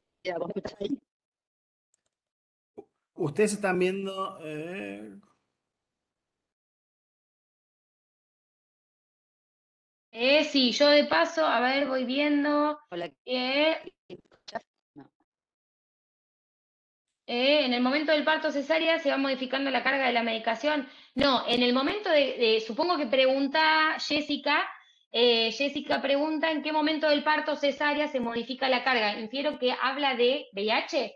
Si una eh, persona eh, que vive con VIH está llegando, hizo bien el tratamiento, en realidad adhirió al tratamiento antirretroviral, llega indetectable, eh, en general, hoy en día las guías mundiales recomiendan parto vaginal y no necesariamente eh, infundir medicación por vena, ¿sí? Que antes, eh, va, que se usa hoy en día, el ácido budina, el, el famoso AZT. Em, en cambio, si hay dudas, si llega la gestante con cargas virales detectables, en ese caso sí, se hace cesárea y se da medicación profilaxis durante el parto. Pero la medicación antirretroviral no se modifica nunca. Siempre la va a tener y la, la va a tener que, que- va a tener que adherir al tratamiento siempre. ¿Sí? Hola Josefina, perdón, eh, ¿puedo hacerte una consulta o do- hacer dos Obvio, no comentarios? sé. Perdón, Cris, ¿me Sí. escuchás? Sí, José. Perdón que estoy sin cámara, pero tengo muy baja conectividad. ¿Se escucha ahí? Sí, Ani. No, sí. quizá contestarle a algunas de las compañeras y compañeras que preguntaban en relación a los test rápidos. Nosotros estamos proponiendo o tratando de implementar la estrategia del testeo rápido. Ya lo hacemos en 93 municipios de la provincia de Buenos Aires y en distintos efectores del primer y segundo nivel. Y lo que entregamos son test rápidos dúo de VIH y sífilis, que con una única punción tienen el resultado para las dos ITS en una lectura de entre 15 y 20 minutos. Y también proveemos de test rápidos de hepatitis C.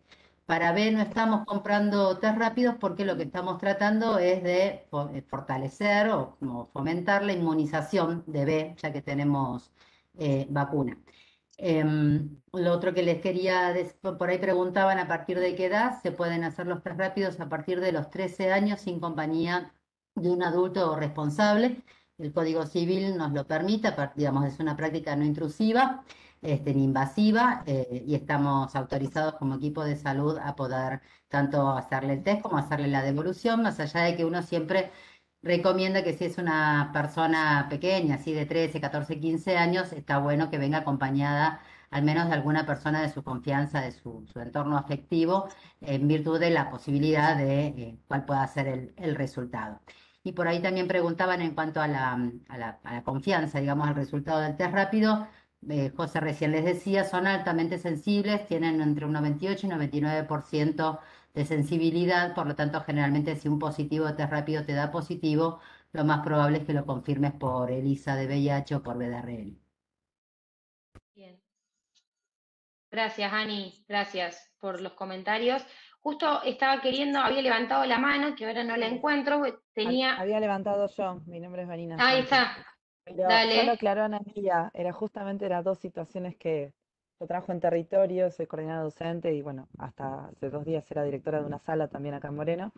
Y soy Sí. coordinadora docente de una residencia de enfermería comunitaria. Justamente lo que vemos a nivel municipal y también trabajo en el hospital es que el acercamiento del testeo rápido, la accesibilidad a las personas es, genial y sobre todo la implementación del flujograma de poder ya empezar con una prueba eh, rápida, positiva, ya poder in- iniciar con el tratamiento mientras tanto se va eh, continuando con la consulta médica, clínica eh, y la prueba no treponémica a continuación de confirmatoria, pero es como es bastante más accesible uno poder continuar con ese seguimiento de esas personas que dan positivo, sobre todo en la duda, porque no todos, no todos recuerdan haber tenido una sífilis positiva.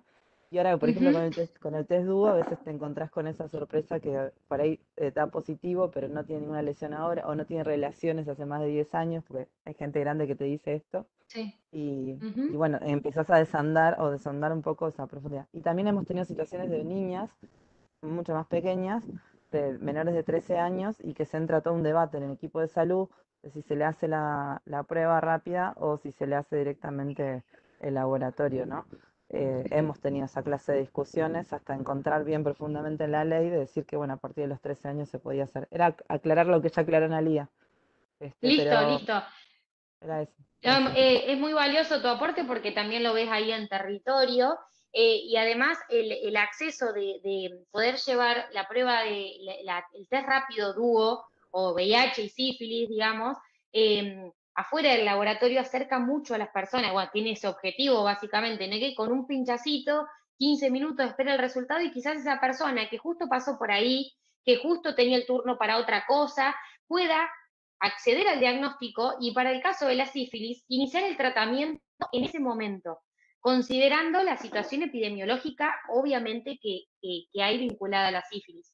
Y VIH también, porque te habilita pruebas, porque los centros de testeo que están habilitados en, nuestro territorio, los que eh, testean VIH, nosotros reforzamos mucho que se tiene que asegurar el circuito. Una eh, persona que se acerca a testearse y le da el test rápido positivo de VIH, se tiene que asegurar que esa persona acceda a la carga viral y a la asistencia de, por el especialista lo antes posible. ¿sí? Si eso no se puede asegurar, no se habilita el centro de testeo, ¿sí? Es decir, es requisito poder asegurar que esa persona, ¿sí? Que se va a testear VIH a un lugar, acceda, ¿sí? Oportunamente, lo más precoz posible, a una carga viral para confirmar. En el caso de la sífilis, es también importantísimo, porque la estrategia así lo demanda, digamos, si la sífilis es positiva en el test rápido, en ese momento iniciar tratamiento. Las estrategias vienen vinculadas a eso, ¿no? Al diagnóstico rápido, afuera del laboratorio, ¿sí? Que puede estar en una vereda, haciendo una campaña por X motivo, en el centro de salud, en un control por el Día Mundial de la Diabetes, por ejemplo, pero se le tiene que asegurar todo, ¿sí? En ese momento, porque la estrategia tiene ese objetivo, esa misión, ¿sí? Así que está buenísimo que lo puedas ver y lo puedas relatar también vos siendo obviamente partícipe desde tu lugar y también que lo veas. Así que es, eh, es, muy, es muy lindo escucharlo. Había otra manito, ¿no, Cris? Sí. Una cosita, había una manito, pero antes eh, recupero algo del chat. Eh, nos preguntaban si había capacitaciones para testeo rápido. La dirección sí hace capacitaciones, pero cuando se consolida un equipo dentro, digamos, de un efector público de salud. Eh, ahí yo les compartí el mail de la dirección. Eh, cualquier cosa nos escriben y podemos iniciar eh, cualquier proceso, digamos, de capacitación y acompañamiento. Hay una decisión política de ampliar los centros de testeos, hay una inversión en insumos de la provincia, así que está muy bueno que, que pregunten y que consulten. Otra cosita así media parroquial es que les voy compartiendo cada tanto el link de acceso al presente. Traten de dar el presente porque con esa información vamos a entregar los certificados de participación en la jornada. Después em, también eh, preguntaban, eh, espérenme, espérenme, lo de la PrEP. ¿no? Eh, alguien preguntaba si, la pregunta es, cuando hablamos de PrEP como método de prevención, ¿Sería el momento, por ejemplo, si una pareja de eh, uno de ellos es VH positivo y deciden buscar un embarazo por medio natural? Bien, en realidad la PrEP es uno de los elementos de la prevención combinada, ¿sí? Que la nueva ley habilita y que estamos realizando varias pruebas pilotos porque implica todo un, eh, un circuito que crear en la provincia. La PrEP, en realidad, una persona que vive con VIH positivo y está indetectable, su compañero o compañera no necesita tomar la PrEP, ¿sí? Porque no transmite el virus del VIH esa persona. Eh, respecto a el embarazo, por ahí, José, vos podés profundizarlo más. Pero eh, tengamos en cuenta que tanto la PrEP como la PPE, que la profilaxis post-exposición, están pensados para toda la población, ¿sí? En el sentido de que la PEP no es solo para eh, accidentes vinculados o, a situaciones de violación o eh, violencia sexual, como se ha pensado durante muchos años, sino que es para todos aquellos que hayan tenido una situación de exposición.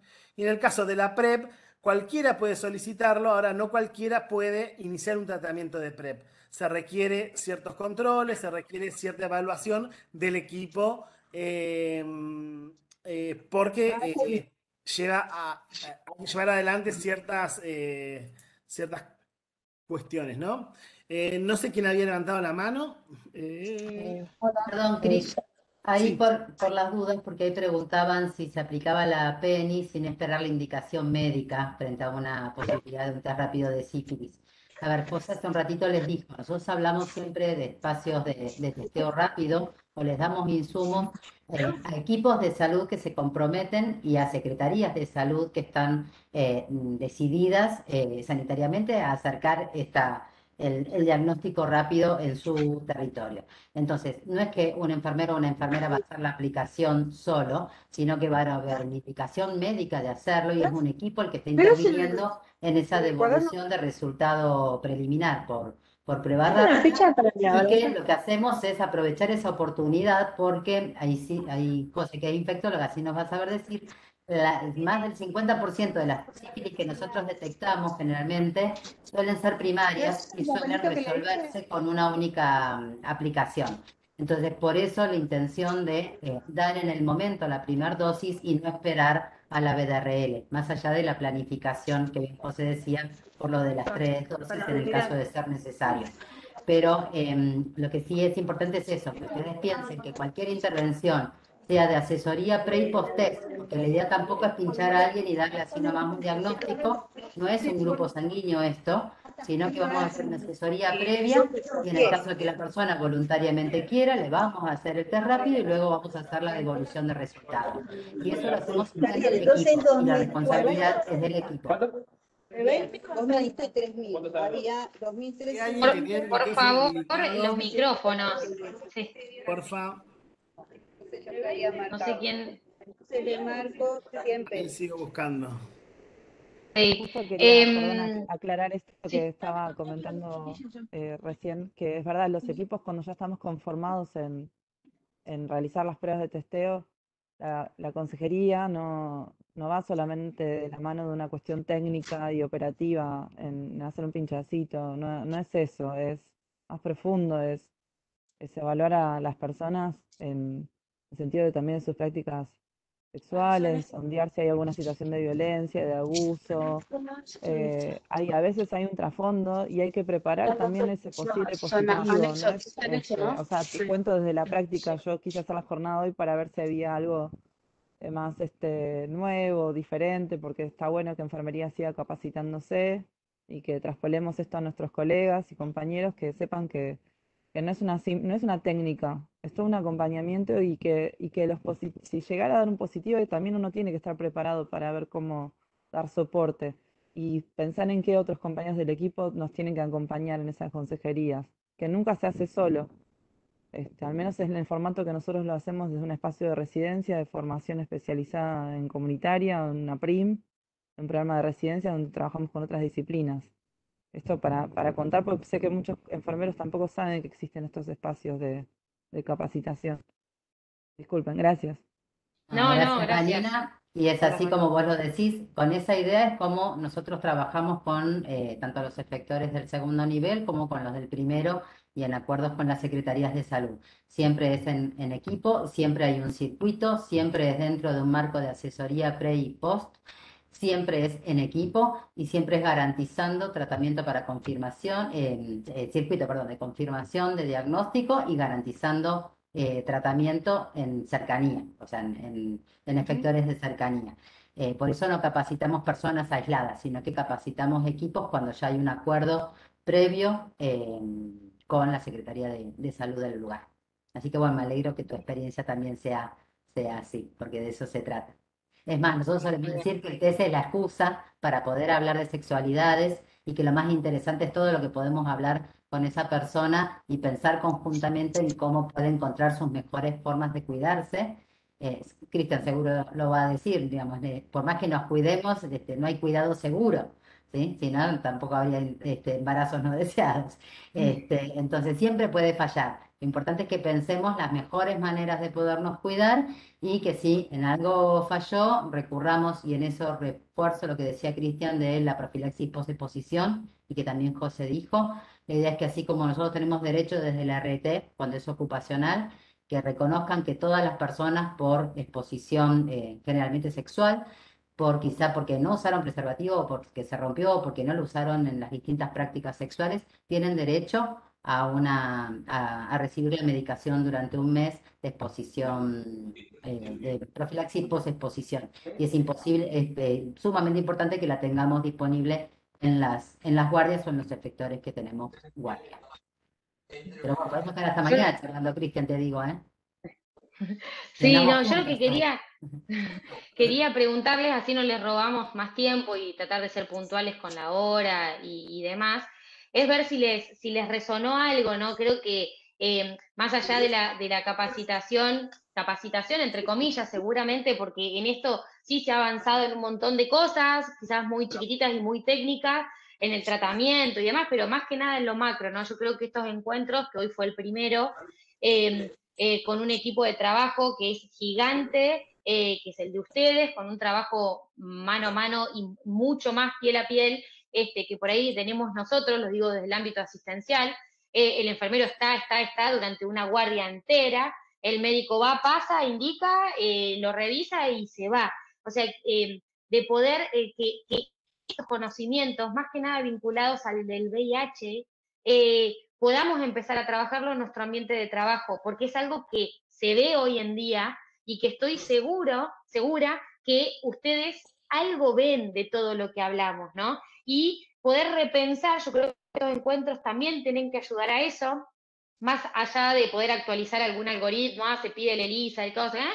Em, poder repensar nuestras prácticas y decir, che, no le voy a poner más, la G de guante, o no lo voy a marcar más con rojo o a esta ficha.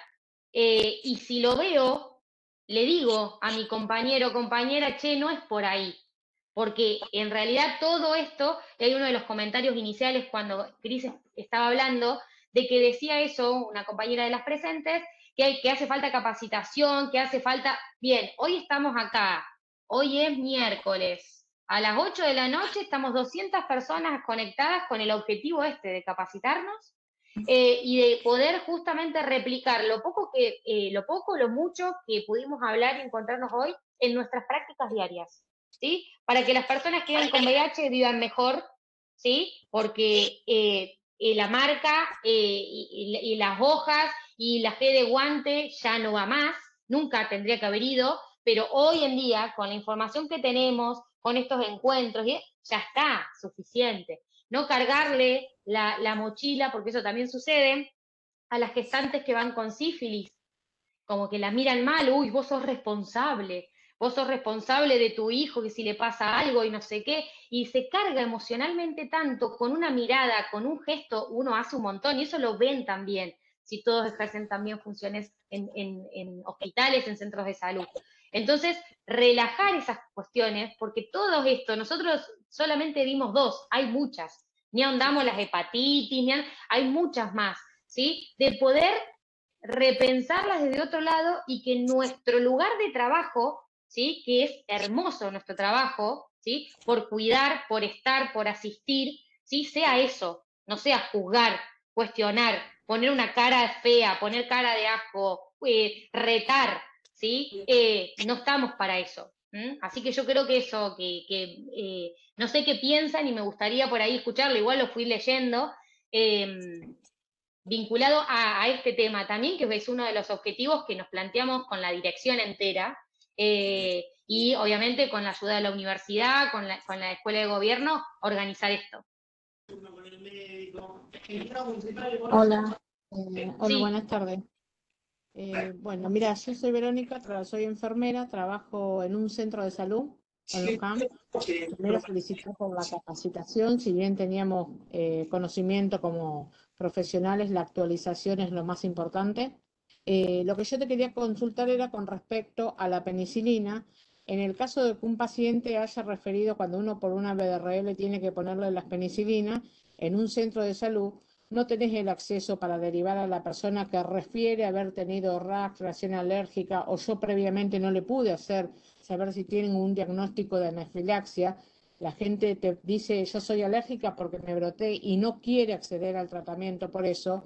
¿Se le puede dar o se le da un tratamiento de antihistamínico previo, aunque no haya hecho una anafilaxia? Porque hasta que yo consiga un turno a un alergista que me den en el hospital, el tratamiento se sigue demorando y puede seguir complicándose eh, la enfermedad por el BDRL.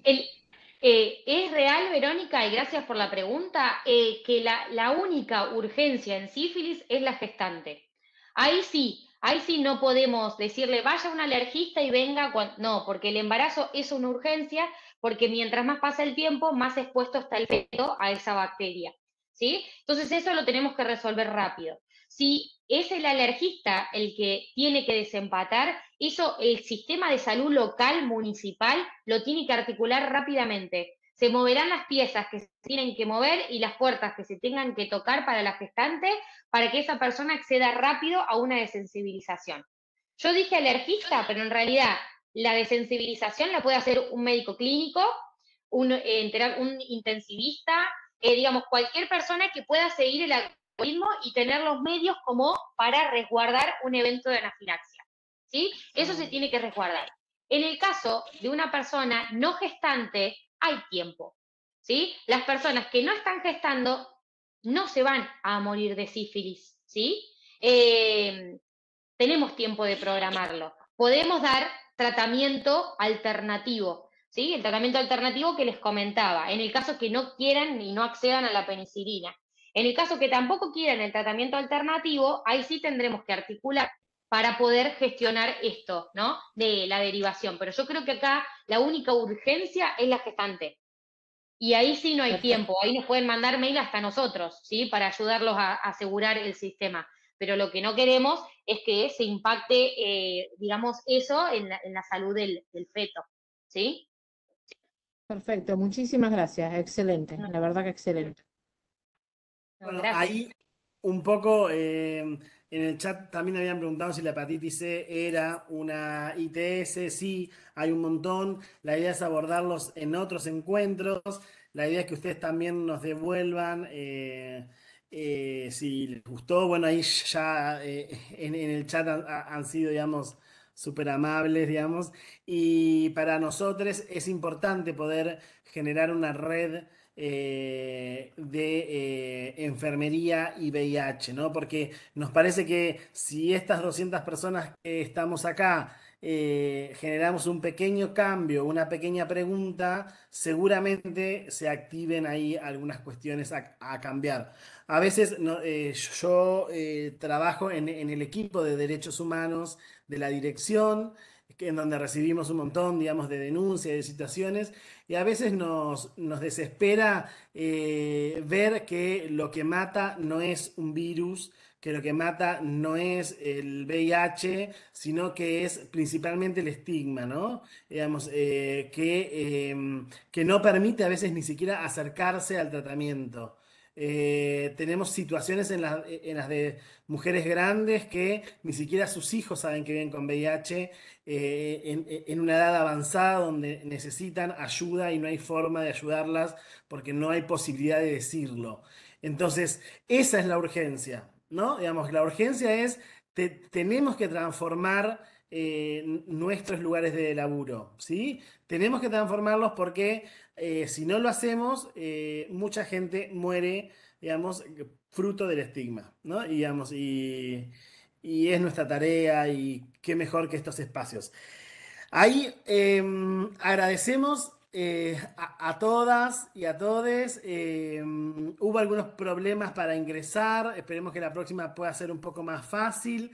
Les pido a todos los que dijeron presente en el chat, que den el, presente en el, en el, link que vuelvo a mandar eh, en este preciso momento. Así podemos realizar los certificados que nos van a llevar unos días, porque son varios, y se los vamos a enviar al mail. Junto con eso vamos a enviarle el link de este encuentro, más algunos materiales que tenemos para compartirles y el PowerPoint de hoy. ¿Sí? No, sé ahí, Alan, si quieres decir algunas palabras, o José, para cerrar. ¿O alguien? No, eh, solamente felicitarlos por las charlas a vos y a María Josefina, la verdad que excelente, muy claro los conceptos. Ojalá esto pueda generarnos en cada uno de nosotros un, un trabajo en terreno, ¿no? Que seamos replicadores de muchos de los conceptos que hoy en día, como vi en el chat, algunos todavía tienen algunas dicotomías en, los conceptos, pero está bueno que hoy han aclarado muchísimos conceptos y nosotros podamos ser replicadores y, tratemos de evitar eh, todas estas eh, estigmas que hoy por hoy todavía perduran. Pero bueno, creo que hay, que hay mucho trabajo por hacer en la deconstrucción de cada uno de nosotros, hay que trabajar en eso y bueno, nada, me parece que esto es un pasito más en este, en este largo camino todos los que elegimos la salud pública sabemos que es un camino largo y sinuoso, pero que tenemos que recorrerlo en forma colectiva. Así que agradecerles a ustedes por las presentaciones y bueno, ojalá nos encontremos el año próximo haciendo otras jornadas. Buenísimo, muchas gracias, Alan. Bueno, si otro... Cristian, ¿te puedo hacer una consulta? Obvio, obvio. ¿Qué tal? No, no puedo ingresar a la parte del chat para dar el presente. ¿Lo mandarán por mail o algo eso? No, eh, quienes no hayan podido completar el formulario del presente, escriben al mail de la dirección, BA, eh, eh, el que estaba como mail de información, ba.vhcida.gmail.com y ahí nos dan el presente, pero solamente aquellas personas que no hayan podido acceder al link. Muchas gracias. Sí, buenísimo. Porque si no, mañana nos explota la casilla. Pero bueno. Tal cual. Bueno. Nos encontramos entonces eh, prontamente. La verdad que nos vamos con muchas ganas de hacer un encuentro a la brevedad. Solo recordarles que el primero de diciembre es el Día Mundial eh, del VIH y eh, es una buena posibilidad para sensibilizar ahí a los equipos y para meter preguntas eh, en nuestros lugares de trabajo y hacer alguna actividad de visibilización. Les mandamos un abrazo y les enviamos todo en estos días. Muchas gracias. Saludos, hasta luego. Muchas gracias. Muchísimas gracias. Chao, chao. Gracias. Hasta luego. Chao, chao.